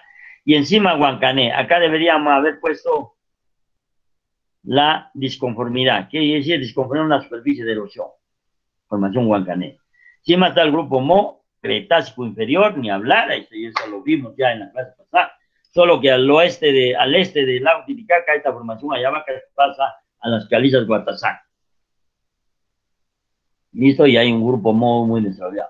Encima hay una formación Vilquechico, que ha sido estudiada por un geólogo muy, muy bueno, un, un geólogo francés, Etienne Yayar, un amigo muy, muy, muy bueno, muy buen geólogo, buen sedimentólogo, ha levantado este, unas columnas muy espectaculares. Dentro de la formación, este, Muñani ha hecho un trabajo bastante importante en materia sedimentológica, tanto en el sur del Perú, también parece que ha ido al Perú Central, efectivamente también ha trabajado ahí. Entonces, un geólogo ya trabaja mucho en el servicio, en ese tiempo era el Orstón, o sea, el organismo científico que tenía Francia en Perú y que ahora lo tiene todavía, que es el IRD, el Instituto de Desarrollo, uh, Instituto de Investigación y Desarrollo para América del Sur, el IRD, l'Institut de, de Développement de la Recherche et du Développement. Bien. Entonces acá está la formación Muñani, efectivamente, Paleógeno. Y el grupo Puno, en realidad la formación Muñani debería ir al Paleoceno y el Eoceno, y el grupo Puno esencialmente es oligomioceno. aquí está de manera muy general. Esa es la estratigrafía entonces del Cretáceo superior. Tanto hemos visto en, en el este del lago Titicaca con una formación vilquechico muy, muy reducida, de 100 metros, pero sin embargo acá se habla de 500 metros. Y esta formación, este Cretáceo terminal, tiene todavía una formación ausangate acá, que ha sido distinguida del vilquechico, en la parte superior. ¿Ya? como pueden ver acá, ¿qué dice? Esta formación son areniscas cuarzosas. Y estas areniscas arcósicas eh, areniscas cuarzosas blancas, es una sedimentación marina. Y algo de calcio, ahorita vamos a ver en detalle una columnita. Y esta formación a Usamgaque, que esencialmente son areniscas rojizas, limarcillitas, dice, probablemente ya tendiendo a ser este, continental. Pero este episodio es marino. Nosotros en la cordillera occidental, ¿qué tenemos? Una sedimentación de conglomerados, 500 metros de conglomerados, ya fue una sedimentación netamente continental. Por ahí, en la parte inferior, hemos visto que hay unas intercalaciones de calizas que dan pues que todavía eso es eh, ¿no? En cambio, eso, con esta columna acá, este, este geólogo Etienne Yayar, ¿qué ha determinado? Ha determinado, mira, marino somero, Huancané, Ayabacas, Chico, llanura de inundación muy cerca del mar, marino costero, transgresión, intercalación fluvial, llanura de inundación costera cerca del nivel del mar. ¿Por qué? Por toda una serie de estructuras sedimentarias. he encontrado hasta dientes de tiburón acá. Ya, medio transgresión dentro de la formación Vilquechico. Entonces, miren en el altiplano, todavía una sedimentación marina en el Cretácico superior, porque la formación Vilquechico está asignada al campo, cámpano matricial. Hemos dicho acá, formación Vilquechico, Cretácico terminal superior, ¿no? Cámpano matricial. Y creo esta columna también igualito, hay un chico esta columna la ha levantado, ¿dónde la ha levantado? A ver, vamos a ver. Este, eh, chico Group, ya, en el, justamente en el lugar del mismo pueblito de chico en el perfil tipo. Entonces acá Guatazane, esta es la formación Cotacuche, que no es cosa que el Mo superior. Y este Guatazane es equivalente de Ayabaca. Ya, pero eso no nos interesa. ¿Qué dicen esa columna? ¿Qué he encontrado? Integración marina, eh, llanura costera con depósitos lacustrinos, marino intercalado con fluvial, marino, llanura costera, después lacustres, lacustrino con marino, porque a ver, vamos a ver aquí dónde está su... ¿Qué he encontrado como fósiles? A ver. ¿Qué he encontrado? A ver, o no lo Ya. Dientes de pescado, bivalvos, gasterópodos, fragmentos de planta, ostrácodos, carofitas, polen y esporas es esto. Ah, huellas de dinosaurios. ¿En dónde? En los depósitos lacustrinos, en la llanura costera. Huellas de dinosaurios, mira. Estructuras algarias, grietas de dedicación, pero genética concreciones, ¿qué quiere decir? Desarrollo de suelos. Entonces, es espectacular esta, este mm, Cretáceo terminal en, en el altiplano. Sin embargo, en la cordillera occidental, nosotros tenemos pura sedimentación de conglomerados. ¿Qué quiere decir? Que se levanta ya la cordillera occidental, se levanta y lo que queda de mar, después de las evaporitas que hay en el, la formación en Chilcane, se levanta, se pliega, y, pero se levanta ya la cordillera eh, occidental, pero parece que hacia el altiplano todavía va quedando algo de sedimentación marina que se va a intercalar con los depósitos que van a venir seguramente de la cordillera occidental, todos los materiales conglomerados, arenas de la cordillera occidental y también seguramente de la cordillera oriental también le van a añadir, pero todavía queda una especie de mar interior ahí. Y donde nadaban pues todavía pescados, este, todavía gasteros, había fauna marina. ¿Ah? Cosa espectacular. ¿Ah? Ese campo anomachiano en el sur del Perú. Muy bien. Entonces, regresamos. Eso es lo que pasa en el altiplano. Diferente de la, de la cosa, ¿no? Pero bueno, espectacular. Esta columnita la hemos levantado nosotros desde mi propia cosecha, también este, a nivel de estructuras. Mucho, ¿no? Entonces, ¿qué, qué ha encontrado el tejiólogo? ¿Quién es este? el geólogo Antenor Chávez, que ha encontrado ahí en una columna que ha levantado, de la formación Muñán, está encima de la formación Vilchachito. Y ha encontrado que arenís con clastos de cuarzo, masivas de grano grueso, conglomerado, con estratificación sesgada, costras de hierro, estratificación sesgada, areniscas con bioturbación vertical, estratificación artesa, lutitas, canales, estratificación sesgada de bajo ángulo, direcciones de la paleocorriente, mira acá, estratificación sesgada en artesa, canales. Entonces ya es una sedimentación netamente continental. Eso es, con eso ya entramos prácticamente al, al, al terciario o al Entonces, como estamos buscando también la, vamos a regresar acá para ver este mapita, estamos buscando acá la línea KT. Ya, ¿dónde podemos encontrar la línea KT?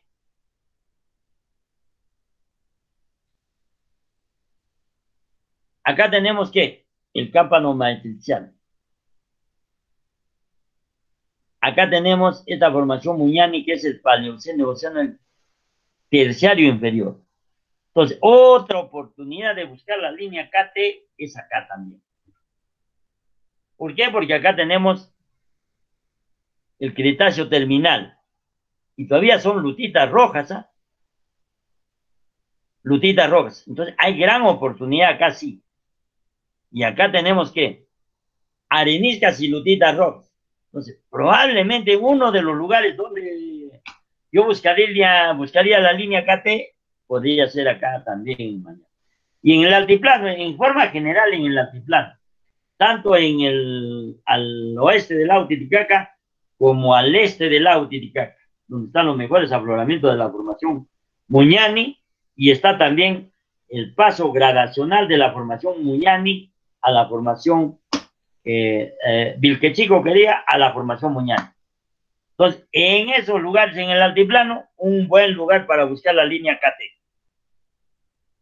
Probablemente en la cordillera occidental no fue porque como se levanta, se erosiona.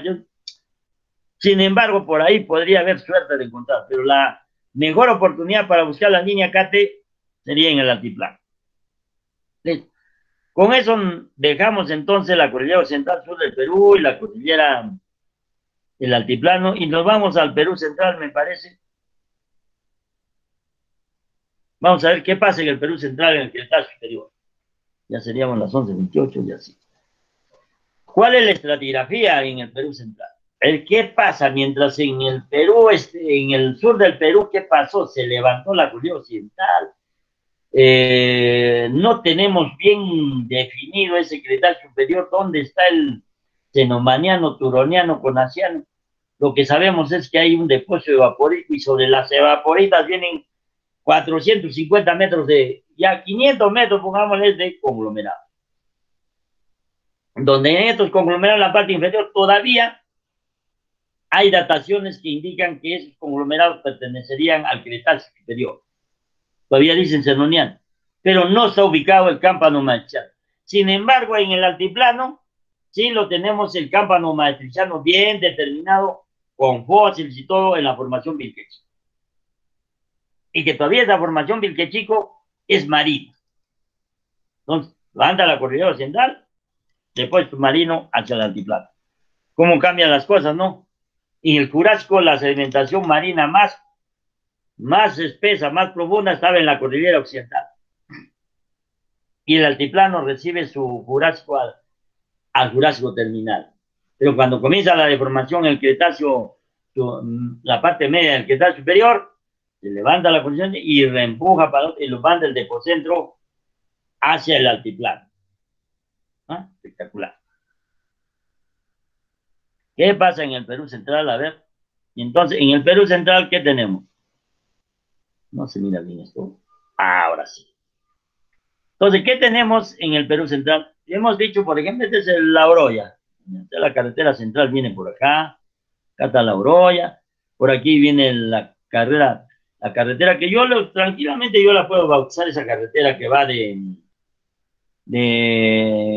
Ayacucho, La Oroya, de acá se va a Junín, de Junín se va a Cerro de Pasco y de Pasco se va, desciende a, a y de Huánuco se va, por lo menos a Cerro Huánuco yo le llamaría la intraandina ¿Por qué no la bautizan esa ruta como la intraandina?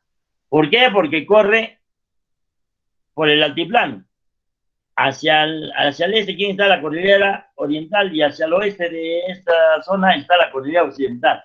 O sea, entre las dos cordilleras, esa carretera que sale de, de Juliaca va a Cusco, de Cusco se va a Bancay, y a Bancay se va a um, Andahuaylas, Andahuayla se va a Huancavelica, de Huancavelica se va a Ayacucho, y Ayacucho se va a Huancayo, de Huancayo se va a La Oroya, de La Oroya a Junín, y se va hasta Cerro Paz.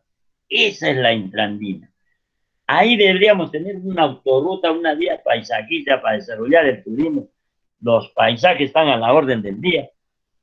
Y también daríamos la oportunidad que los productos agrícolas que se producen en todos estos vallecitos, en todas estas zonas, principalmente la papa de Huancayo, Jauja, Tarma, de Andahuaylas, de todo, todos esos productos saldrían con un sistema de carreteras muy bien.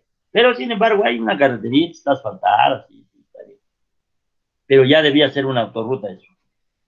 Muy bien, entonces acá, ¿qué teníamos en el Perú Central? Acá la Oroya. Inicialmente un grupo Pucará, ¿no es cierto? Legado en la formación Chambará, Aramachay, Condorcinga. Entonces acá está la formación Chambará, Aramachay, y por ahí hay un poco de Condorcinga también. Y sobre ese Pucará que teníamos, un Cretácico inferior, esto es Jurásico, ¿no es cierto? Un Cretácico inferior, el grupo Goyarisquisca. ¿Y qué tenía su, encima de ese Goyarisquisca? Está el, la formación, el albiano compuesto por quién? por Inca, Chulec, Pariatam. todo condensado, ya poco espesor. Inca Chules Pariatam. Ahí está. Inca Chule Pariatam. Listo, entonces sobre ese, ese Inca Chule Pariatambo, sobre ese aldeano, está esta formación Goyarisquisca. Goyarisquisma que está compuesto acá indiviso, porque tiene poco espesor, y debe estar, y, porque ahí vemos que Guayasiga está compuesto por quién? Chimú, Santa, Carguas, Farrat. ¿Cierto? Es el neocomiano, en sí viene el albiano, y entonces este albiano acá está recubierto por la formación Fumacha. Esta formación Fumacha es del Cretácico superior. Entonces veamos la columnita, a ver, para que ya vayamos viendo cómo es. Entonces, ¿qué tenemos? Un albiano compuesto por las formaciones Inca, Chule y Pariatá, que son calizas. Y sobre eso se deposita esta formación Humash, donde en algunos lugares, o en gran parte del Perú Central, tiene un espesor que puede pasar de mil metros de caliz.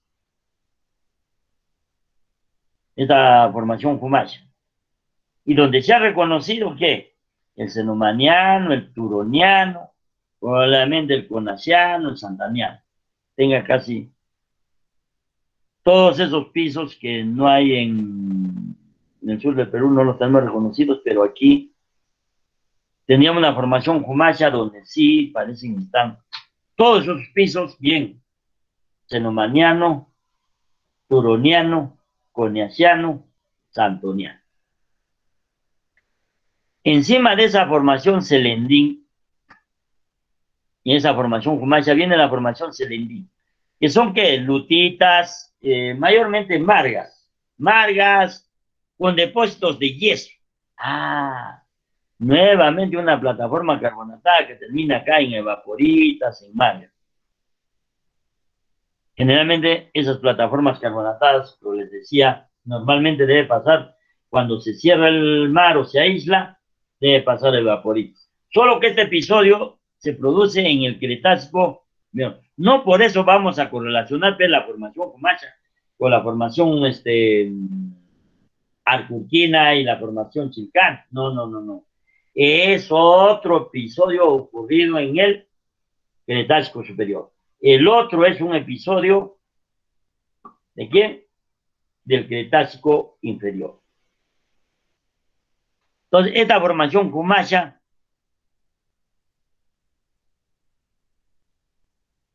sin embargo, habría que aclarar algo, ¿no? Que esta formación Kumasha, no sabemos si la formación este, arculquina de repente, pues, este, está condensada. Condensada quiere decir que tiene poco espesor y que abarca varios pisos. Y en cuyo caso, de repente, pues, eh, la formación este, eh, alcurquina que la, la, acudimos en el sur del Perú netamente al aldeano, de repente si es condensada en su parte media, superior, de repente tiene pues, los pisos enomanianos, turonianos, potassianos, que nos están faltando. Y que de repente este, esta formación selendín, pucha, de repente pues equivalente a la formación chicana, si todo se, todo se precisa pero al, en el estado actual del conocimiento todavía no hay este. Y encima, claro que le hemos, le hemos puesto en esta columnita, miren, el cámpano matriciano, el Cretácico superior, ¿ya? Y el Cretácico superior, acá está todavía dentro ya de una sedimentación continental que son las famosas capas rojas, la formación Casapalca.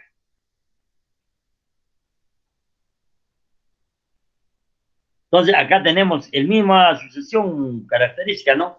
Episodio carbonatado, evaporitas, y arriba vienen ya las fases continentales.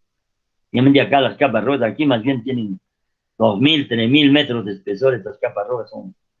Pero en la parte inferior ya tiene conglomerados, pero también tiene algunas intercalaciones de calizas. Y justamente esas calizas tienen fauna que han dado edad después del cámpano matricial, Cretácico terminal. Entonces, la parte inferior de las capas rojas es Cretácico terminal, el cámpano matricial. Que no lo tenemos bien datado en la cordillera occidental del sur del Perú, pero sí lo tenemos datado en el altiplano. Entonces, esta es de cámpano matricial, esta parte sí es equivalente de la formación quinquecha. ¿Ya? Listo. Ahora esta formación Humasha Selendín que sea equivalente de Arpurquina y, y la formación Ashua o la formación Chicane, bueno, está por precisarse, pero se parece bastante el episodio, ¿no? La fusión. Entonces aquí que tenemos la formación Humasha, justamente.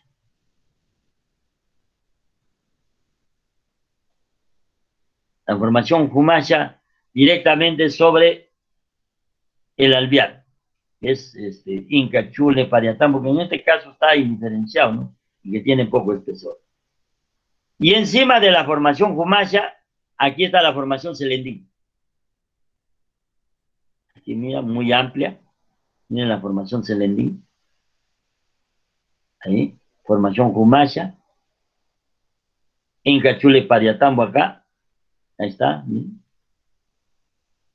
El etacio inferior el aldeano, ¿no? Incachule Pariatambo. Pero aquí le ponen Pariatambo, Incachule Pariatambo, y aquí arriba lo separan en Pariatambo, por lo menos lo reconocen en Pariatambo. Entonces aquí estaría quién? El Pariatambo. Y aquí sería Incachule. Incachule, Pariatambo, el albiano. Y aquí está Jumasha, Senomaniano, Turoniano, Conaciano, Santoniano probablemente, y acá está el cámpano matriciano, que es la formación cementina. Y las capas rojas.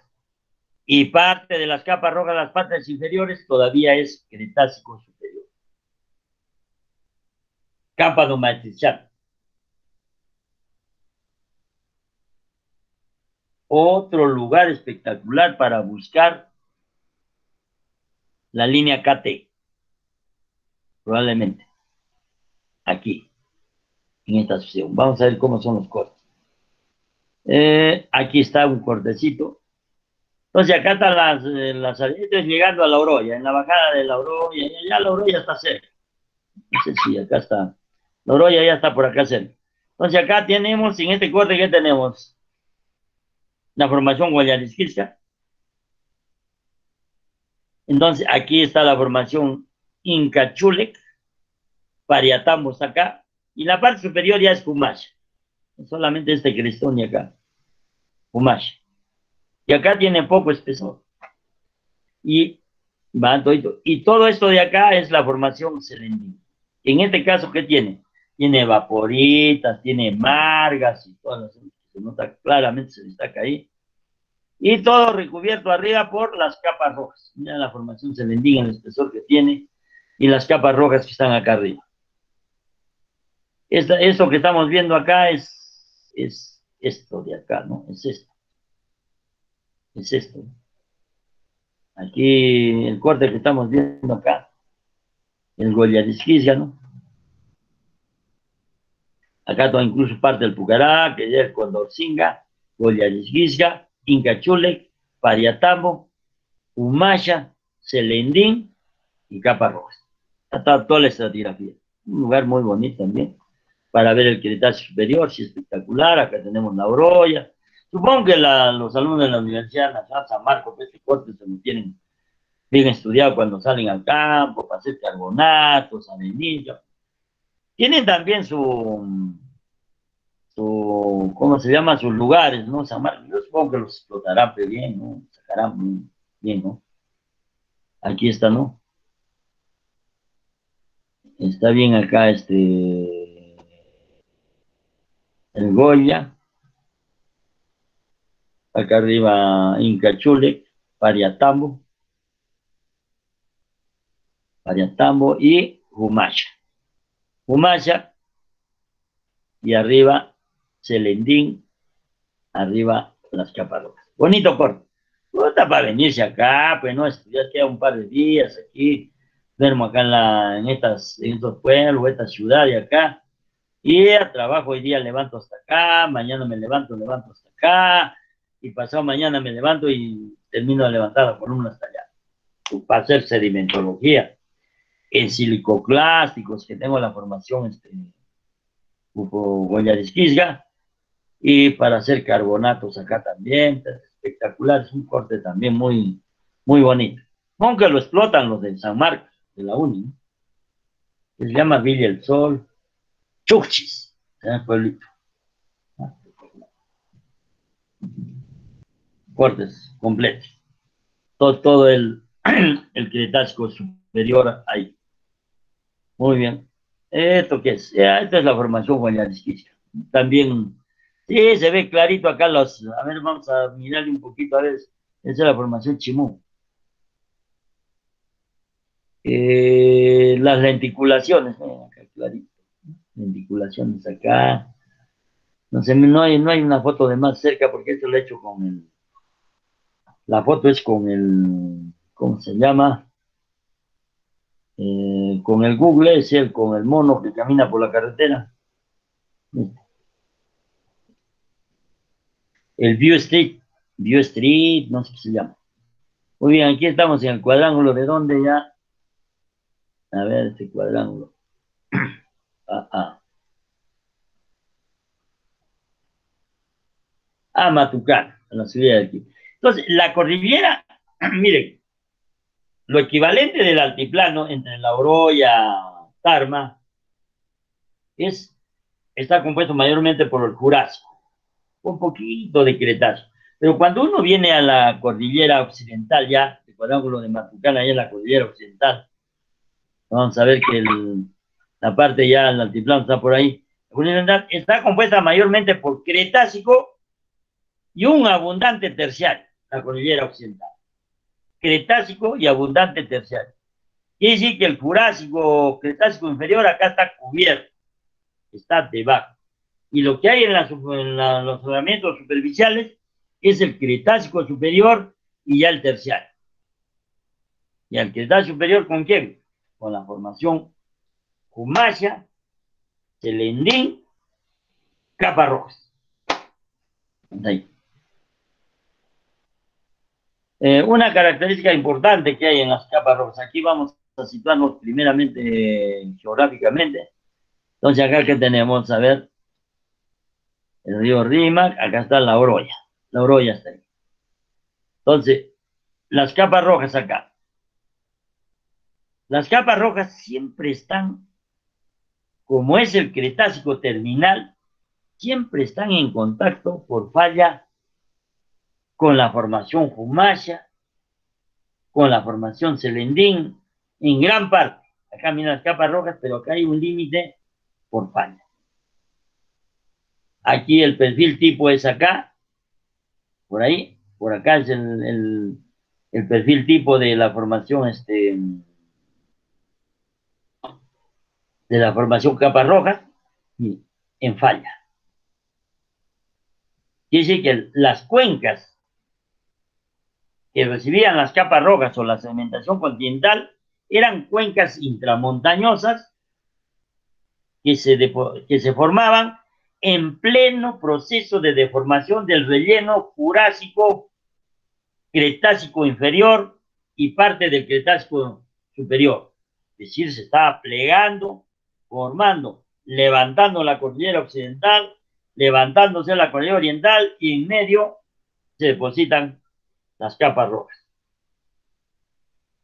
Pero esas capas rojas como están, al mismo tiempo que se está deformando, creándose los relieves, están recibiendo material sedimentario de la erosión de esos relieves, pero esos relieves están en plena formación, también en plena elevación y deformación. Por lo tanto, hay una serie de pliegues y de fallas que están funcionando al mismo tiempo que estas cuencas intramontañosas de las capas rojas están recibiendo su material sedimentario. Y eso es muy importante comprenderlo. Eso queda en sus mentes para cuando hablemos ya de, hablemos de la deformación tectónica, porque ya estamos terminando de ver el relleno Jurásico Cretácico.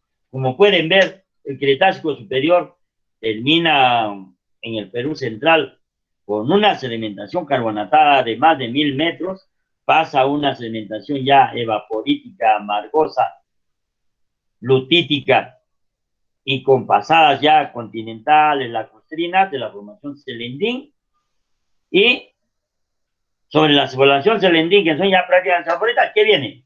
Ya viene el grueso de la sedimentación continental. Pero la parte inferior de esa sedimentación continental, que en el Perú Central se llaman capas rojas, todavía es Cretáceo, es cámpano matricial. Por lo tanto, la formación Celendín probablemente sea pues, coñaciano, santoniano. Porque esencialmente la formación Fumacha va a ser este cenomaniano, turoniano, coñaciano.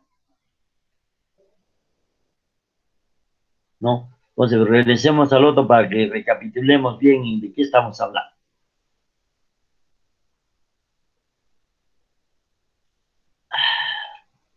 ¿Dónde está mi...?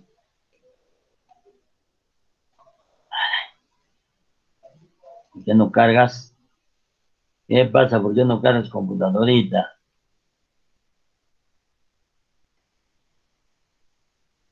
Ah. Ya. Entonces decíamos,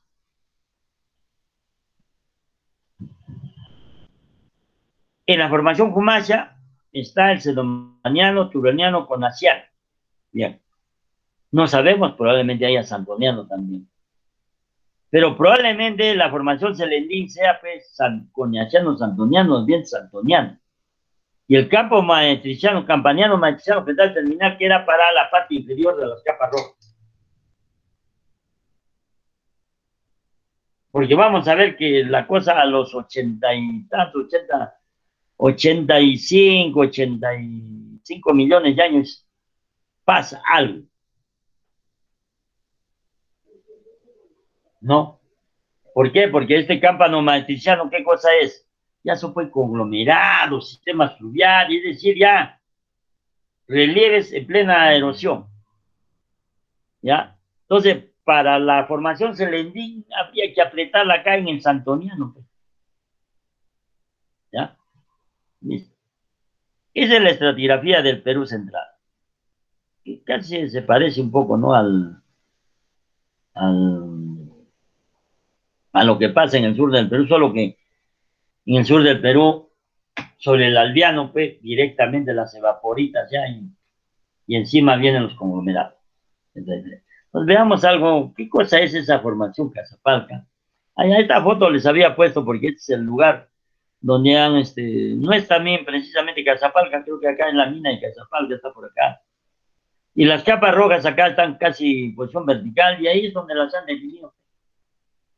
Ahí, ahí han definido el perfil tipo, que no es el más ideal, hay otros perfiles mucho más completos.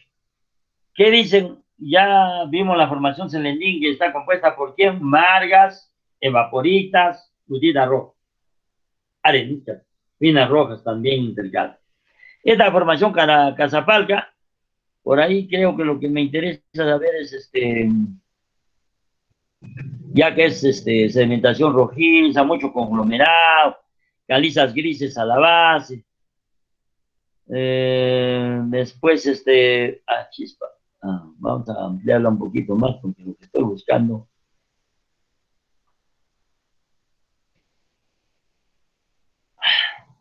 y es esencialmente terciario, ¿no? Ya vamos a ver. Ah, ya. ya vamos a ver, todavía vamos a ir más al norte, más ir al norte. No habla ahí, pero puede tener en algunos lugares la formación Casapalca, espesores que pueden ir de, no sé, algunos autores hablan hasta de 5.000 metros de sedimentación continental.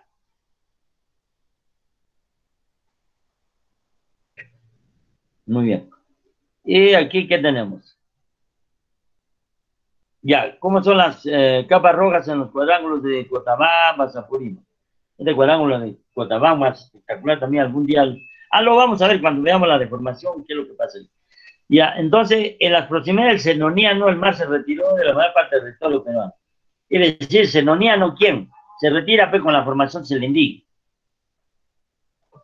Marca la historia de, dice, de la sedimentación marina en los Andes peruanos en Y ya, dice, y es consecuencia de la fase peruana, ya esté, manifestación tectónica andina. La inmersión del Cenonía no ha sido seguida por la deposición de una potente serie de capas rojas, no pasa, pasar de 2.000 metros, 2.000 metros, ya. Y acá, por ejemplo, en los cuadrángulos de Apurímac, todo, descansan sobre la formación Ferrobamba. La formación Ferrobamba, porque es el alviano, pues, para nosotros. ¿No es cierto? Sin embargo, en el Perú Central, los alrededores de Loroya descarga sobre quién, sobre quién descansa en la formación Comaya, descansa pues sobre el Pariatambo, también sobre el alviano.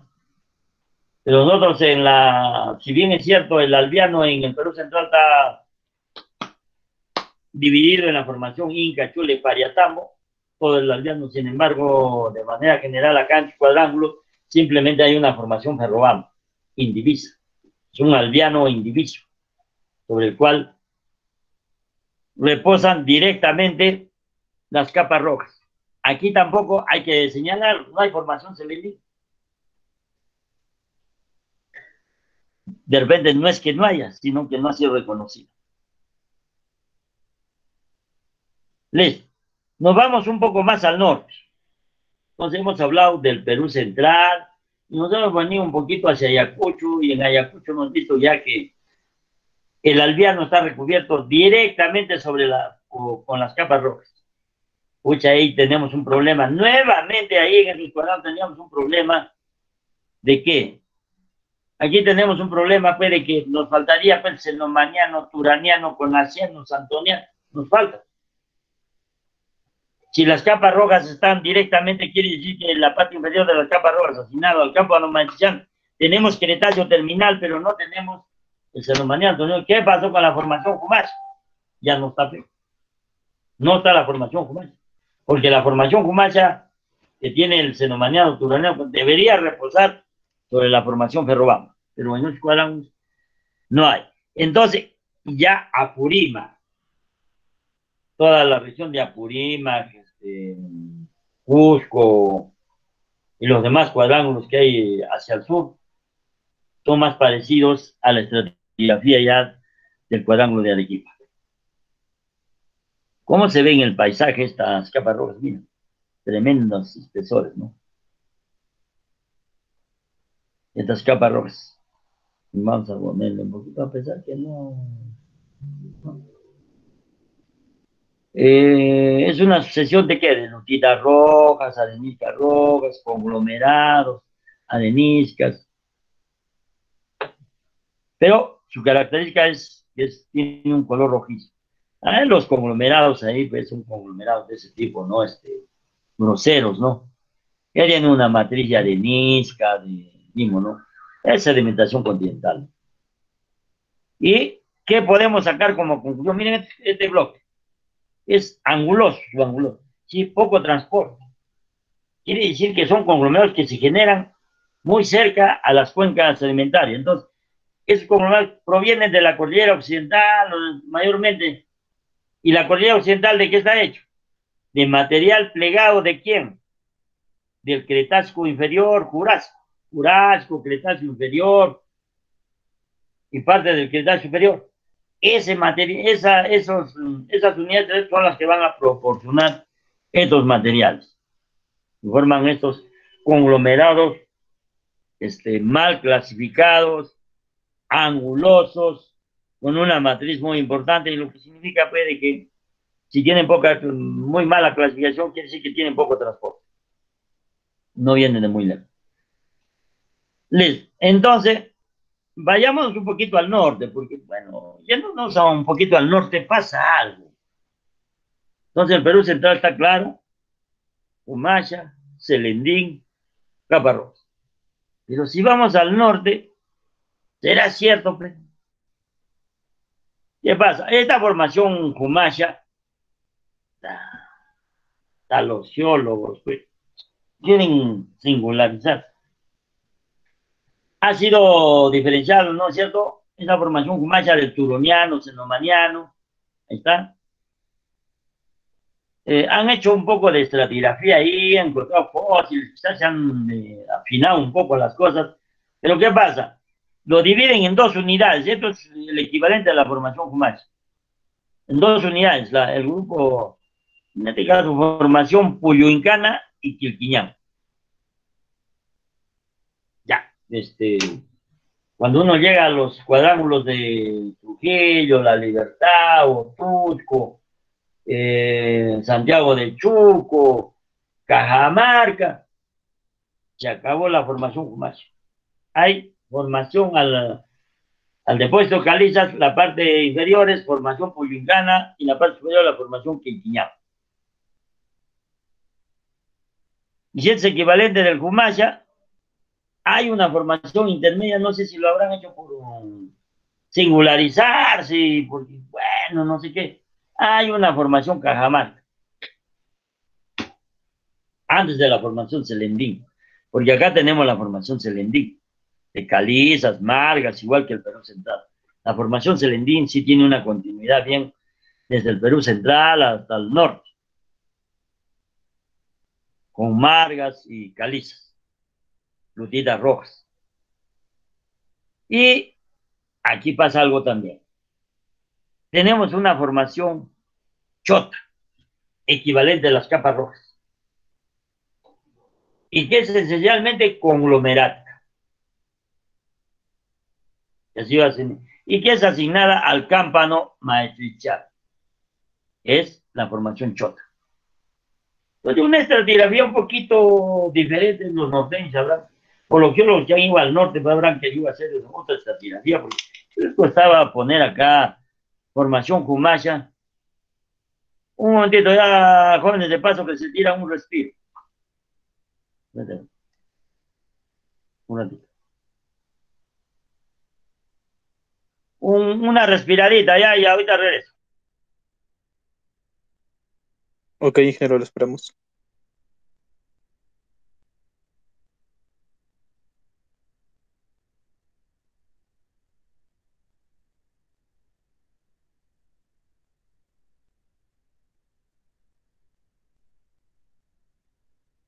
Obviamente el conocía con, con, el Santoniano.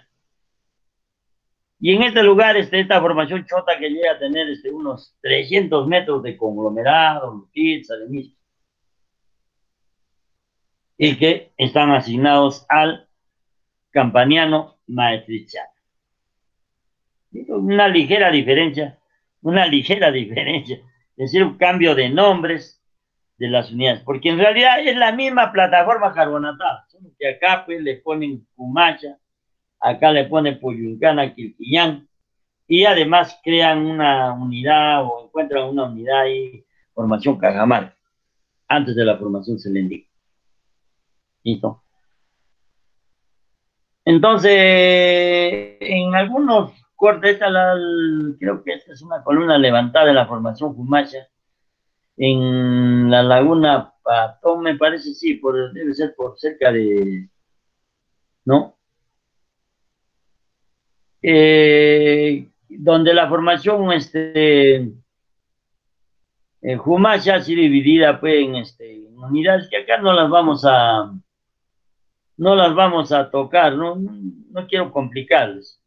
Está dividido aquí entre estas formaciones, este, Yumagual, Mujarrón, Romirón, Coño.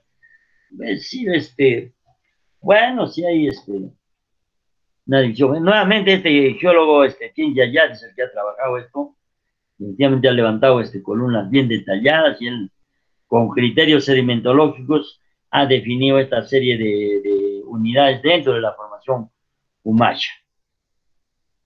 Pero eh, el mérito de esto es de que puede datar mucho mejor este, este, estas unidades, como por ejemplo el senomaniano. El senumaniano, ¿bien?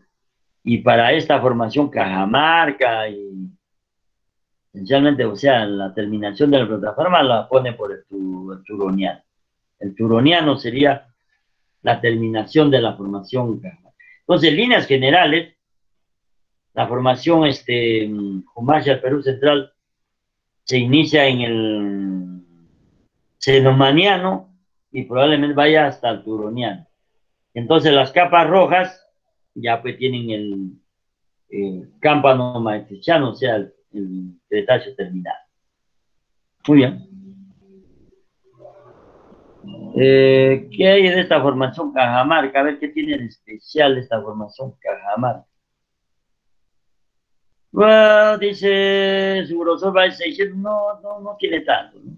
Tiene 100, 200 metros, pero bueno, acá dice que tiene hasta 700 metros, cosa que no lo creo.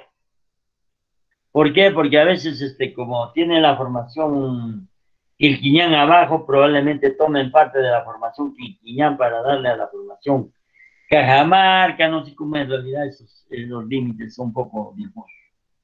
Entonces acá está el mapita de la formación Cajamarca. A ver, a ver, ¿dónde está Cajamarca aquí? A ver, a ver, a ver, a ver. Vamos a ampliar un poquito. Ah. Este mapita sí está mejor. Entonces, toda esta sedimentación este, carbonatada eh, Veamos acá. Eh, Cretáceo, Super KSC debe estar. KSC, la formación Cajamarca. Pues, es una bandita, pero muy delgadita, ¿no?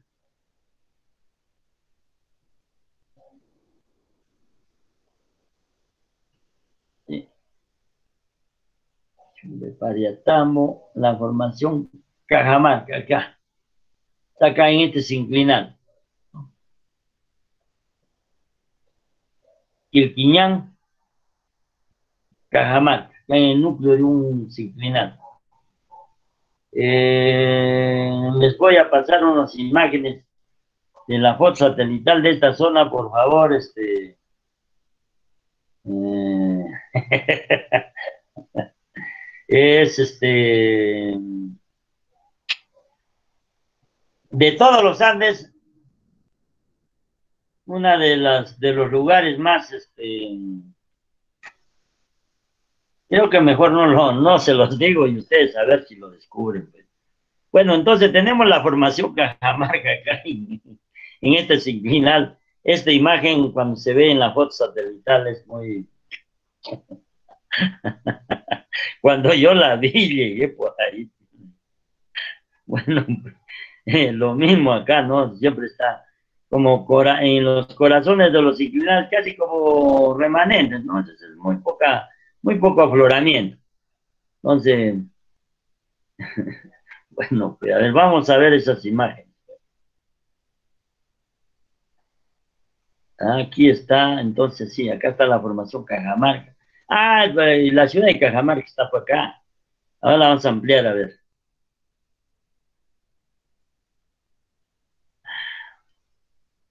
Cajamarca. Ahí está Cajamarca.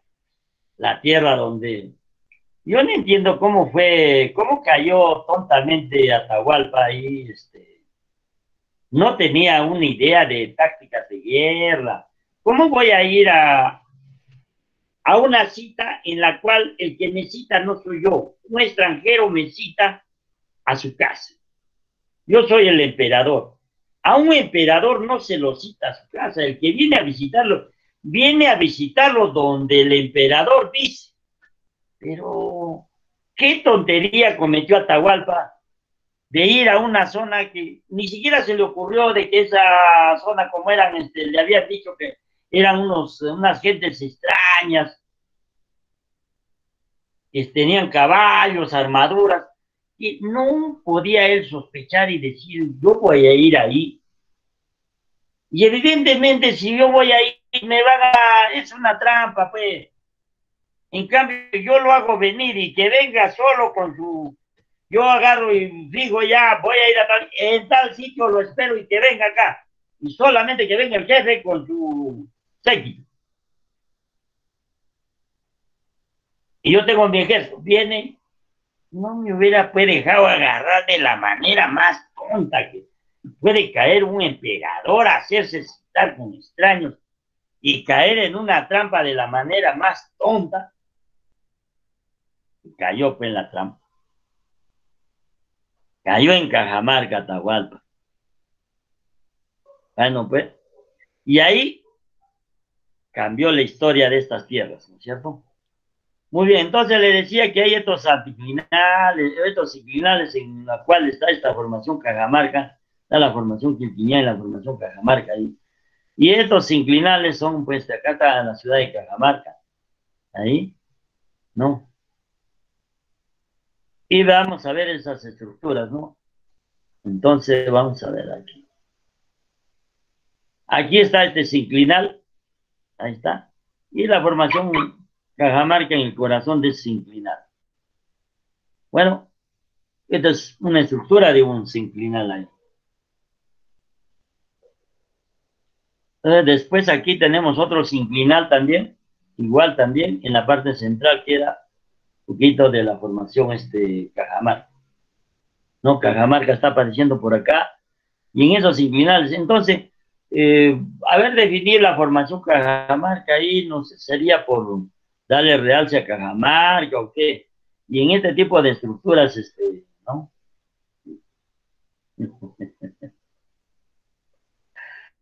Ah, mejor no les digo.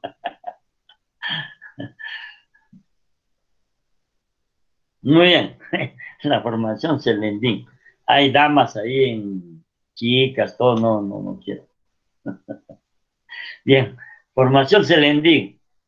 Eh, fue, bueno, esta formación Celendín este, fue definida también en el norte, en la margen izquierda pues, del río, del río Marañón pueblito de Selendín. Entonces dice que este geólogo Benavides, geólogo arequipeño, muy buen geólogo, trabajó mucho tiempo en Perú, uno de los mejores estratígrafos que ha tenido este, el Perú. Me parece que todavía, todavía vive, pero ya está de 90 años, eh, geólogo Benavides. Este, es la última secuencia calcárea del Cretácico superior. Entonces dice que subrayase concordantemente a la formación Cajamarca e infrayase a los depósitos continentales de la formación Chota. Dice en aparente gradación o cierta discordancia. Definitivamente es en discordancia. Ya vamos a ver después por qué.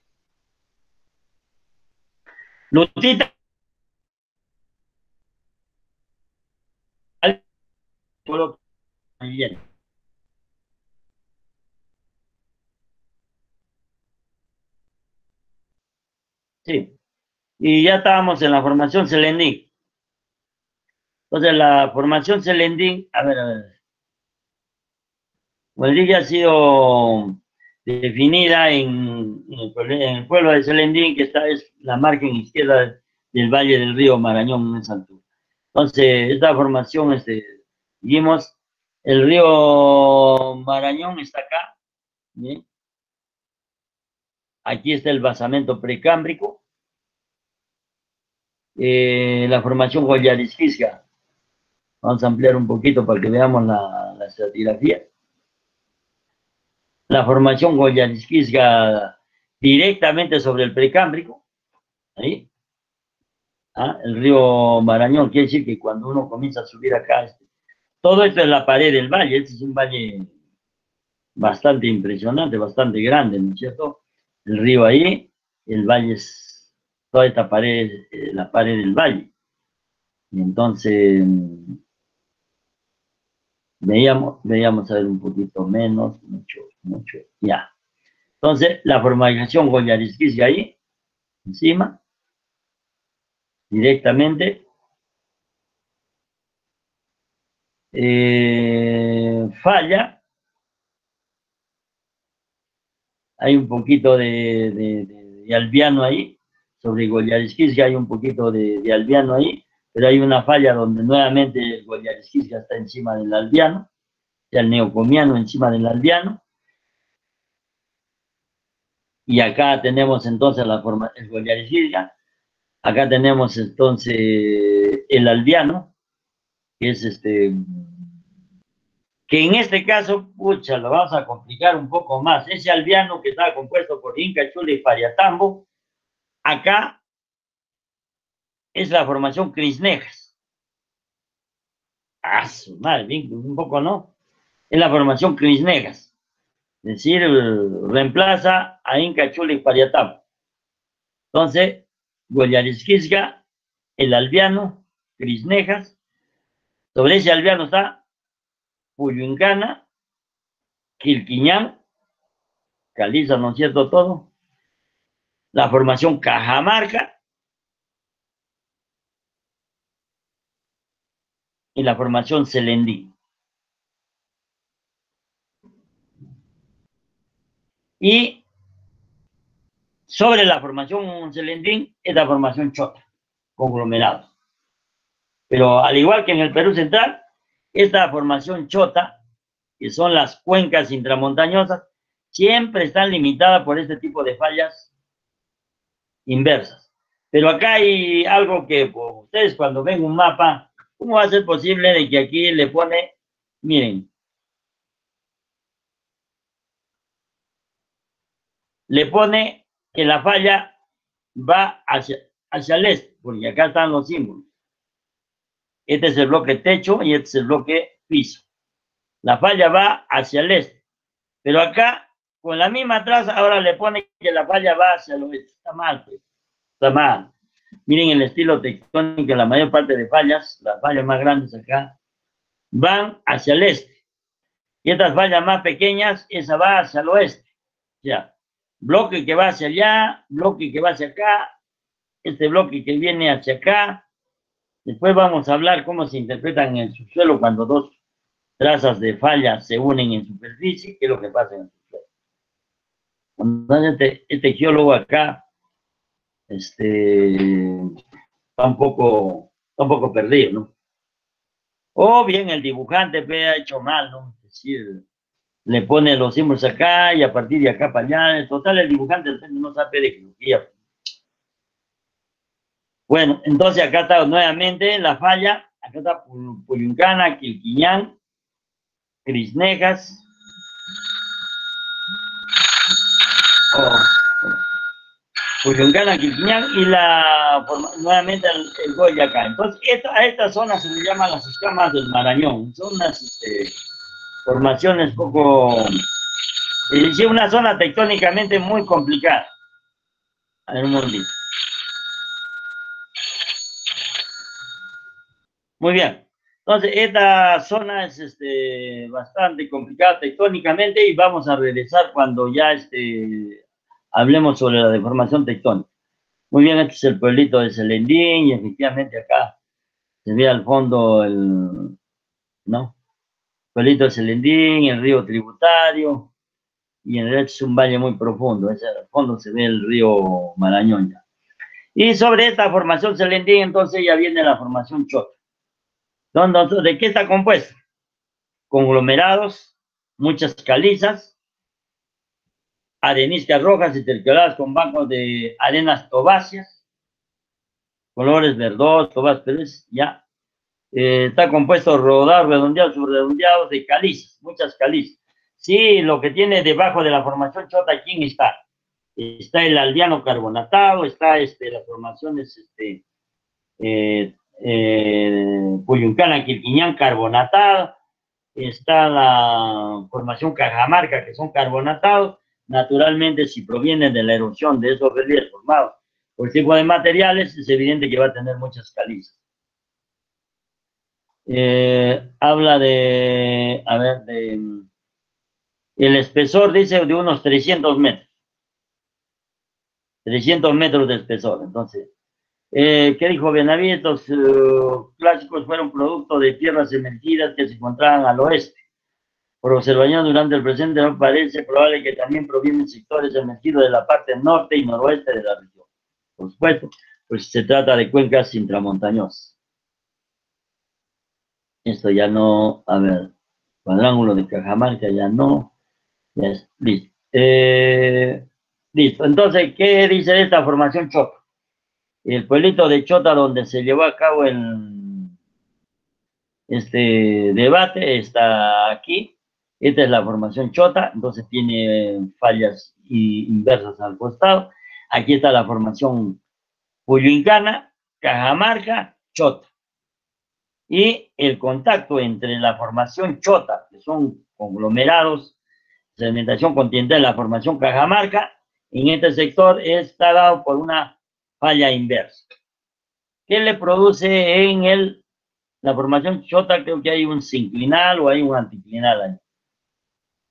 Entonces, esto hay que retener el contacto entre, en realidad, si bien es cierto, estratigráficamente se pasa de la formación Cajamarca, Selendín, Chota, uno quiere ver el contacto estratigráfico, está acá, ¿no? Cajamarca, Selendín, Chota, en contacto estratigráfico. Pero en esta zona hay un contacto tectónico. Y entonces aquí algunos geólogos han encontrado hasta capas invertidas. Eso va a ser importante cuando nosotros estudiamos la deformación tectónica. Ya veremos en la siguiente clase por qué. Terminamos entonces, vamos a ver con la formación oriente.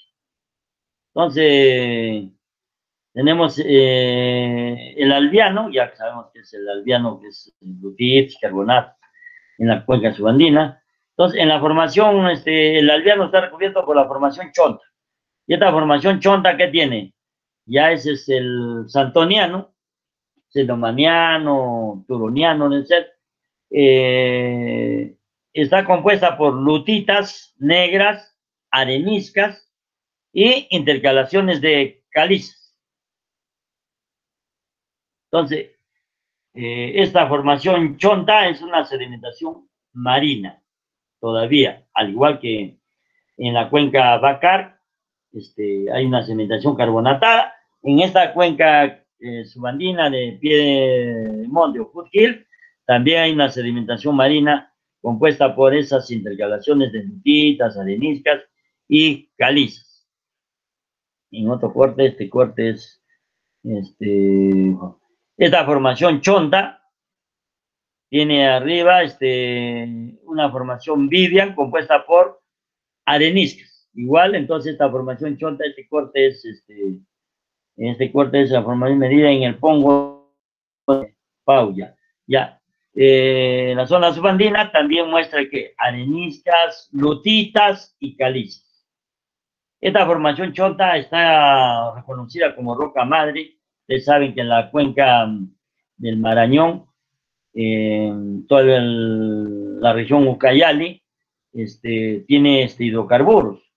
Y los hidrocarburos probablemente se han generado esta formación chonta que tiene calizas lutitas negras y que tiene calizas también, algunas indicaciones de calizas, y encima tiene una formación Vivian que es este, areniscas. Entonces, uno de los grandes reservorios que hay en esa zona es esta formación Vivian.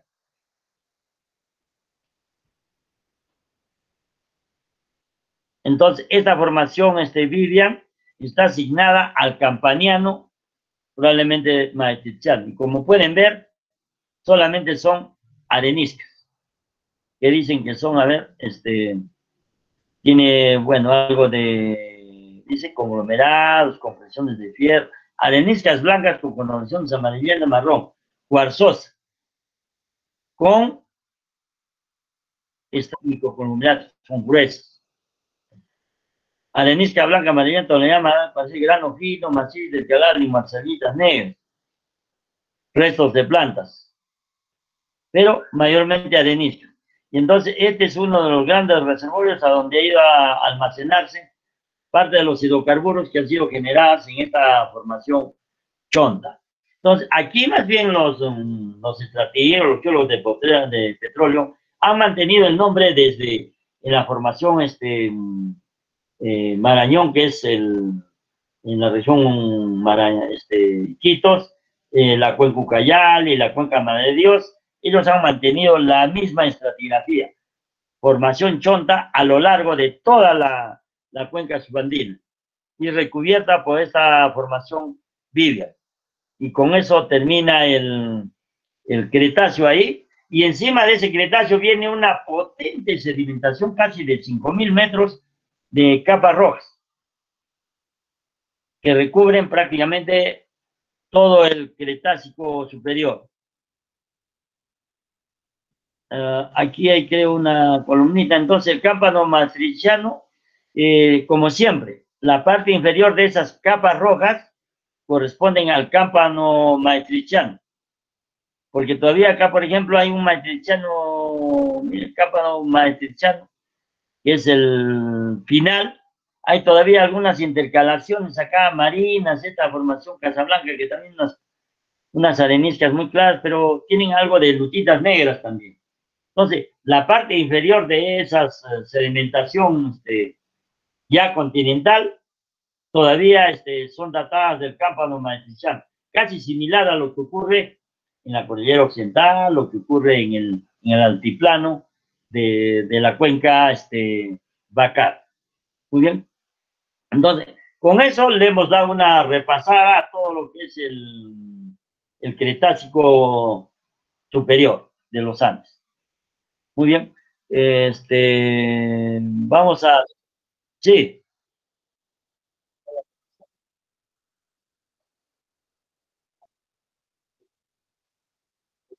Ya, para este caso, esta información que tenemos acá nosotros, en parte de la cuenca subandina, en la cuenca subandina propiamente dicha, es, la información proviene de las perforaciones hechas por los petroleros.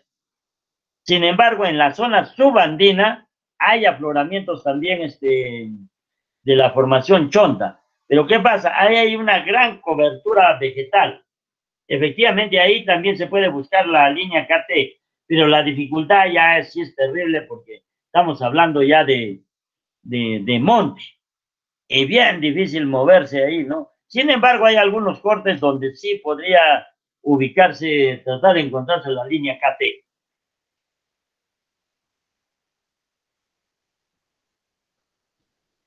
Muy bien. Eh, si hay alguna pregunta, algo, alguna pregunta sobre esto, entonces, el delegado, este, le voy a mandar al delegado la relación de los cuadrángulos por grupo, para que puedan hacer este, un informe similar al que han hecho en la primera parte, pero mm, ya mejorado, pues tiene que ser un poco mejor, debe tener una introducción, debe tener una ubicación, debe tener después una estratigrafía, bien, este, este, redactada, una geología estructural. Después este, les dije, no quiero otra cosa. Eh, después de la estratigrafía, todas las unidades este, sedimentarias y después de la estratigrafía que termina en el cuaternario, viene el capítulo de rocas intrusivas, de magmatismo, donde están todas las rocas intrusivas y afloran ahí. Termina con las rocas intrusivas, viene el capítulo de geología estructural. Y en geología estructural van a describir las principales estructuras que tienen en su cuadrángulo, definir de repente la falla de tal, que es de tipo inversa, que tiene un recorrido, una expresión, este, una traza, no sé, de 10 kilómetros, 5 kilómetros, hace subir, no sé, la formación tal sobre la formación tal, ya describen las estructuras, las principales estructuras, no todas, las principales estructuras. Y después, ¿qué me interesa? El capítulo de geología económica. Entonces, en el capítulo de geología económica, lo que tienen que hacer es ver qué yacimientos minerales en explotación están actualmente ahí y situarlos sobre un mapa para que se pueda ver efectivamente en qué unidad estratigráfica está, y finalmente, si ese yacimiento está en el contacto de un intrusivo con una caliza, o está en contacto de, o en la traza de una falla, o está eh, siguiendo la dirección de un anticlinal, es decir, ver si hay un control estratigráfico, estructural, o hay un, o hay un control también este, litológico, es decir, control interior si está dentro del contacto de un intrusivo con una roca sedimentaria o la mineración está al interior del intrusivo o la mineración solamente está al interior de la roca sedimentaria y no hay intrusivo a la vista. Esas cosas es, después unas pequeñas conclusiones y, por supuesto, también su bibliografía. Solamente con esos capítulos nomás quiero el informe.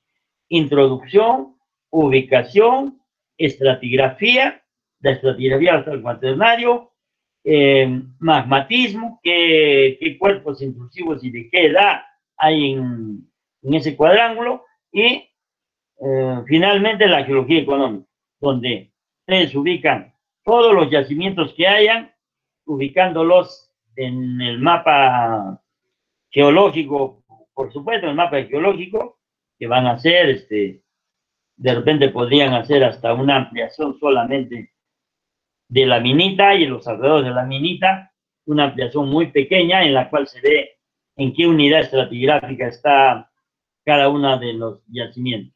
Ubican un yacimiento, le hacen una ampliación a esa zona donde está el yacimiento para ver que, por ejemplo, está en la formación Humacha, está en la formación eh, Crisnejas, está en la formación Pariatambo, es decir, dónde está ubicado ese yacimiento. ¿ya? Sus conclusiones y su bibliografía. Nada más quiero que hagan en cuenta. No quiero que pierdan tiempo haciendo geomorfología, haciendo drenaje, climas. No, no, no, no pierdan tiempo. Eso veremos para informes más completos ya posteriormente. Acá lo que interesa es ver la geología. Es la estratigrafía, la geología estructural, el magmatismo, la geología económica. Eso es lo que interesa, ¿ya? Solamente ese informe, para no complicarse y perder tiempo. Entonces hay que hacerlo. Yo le voy a mandar al delegado entonces la relación de los cuadrángulos que va a haber cada grupo y para que lo puedan hacer para, la, para el tercer parcial que ya va a venir bien pronto. ¿ah? Entonces les voy a asignar este, hoy día en la tarde, les debo estar enviando.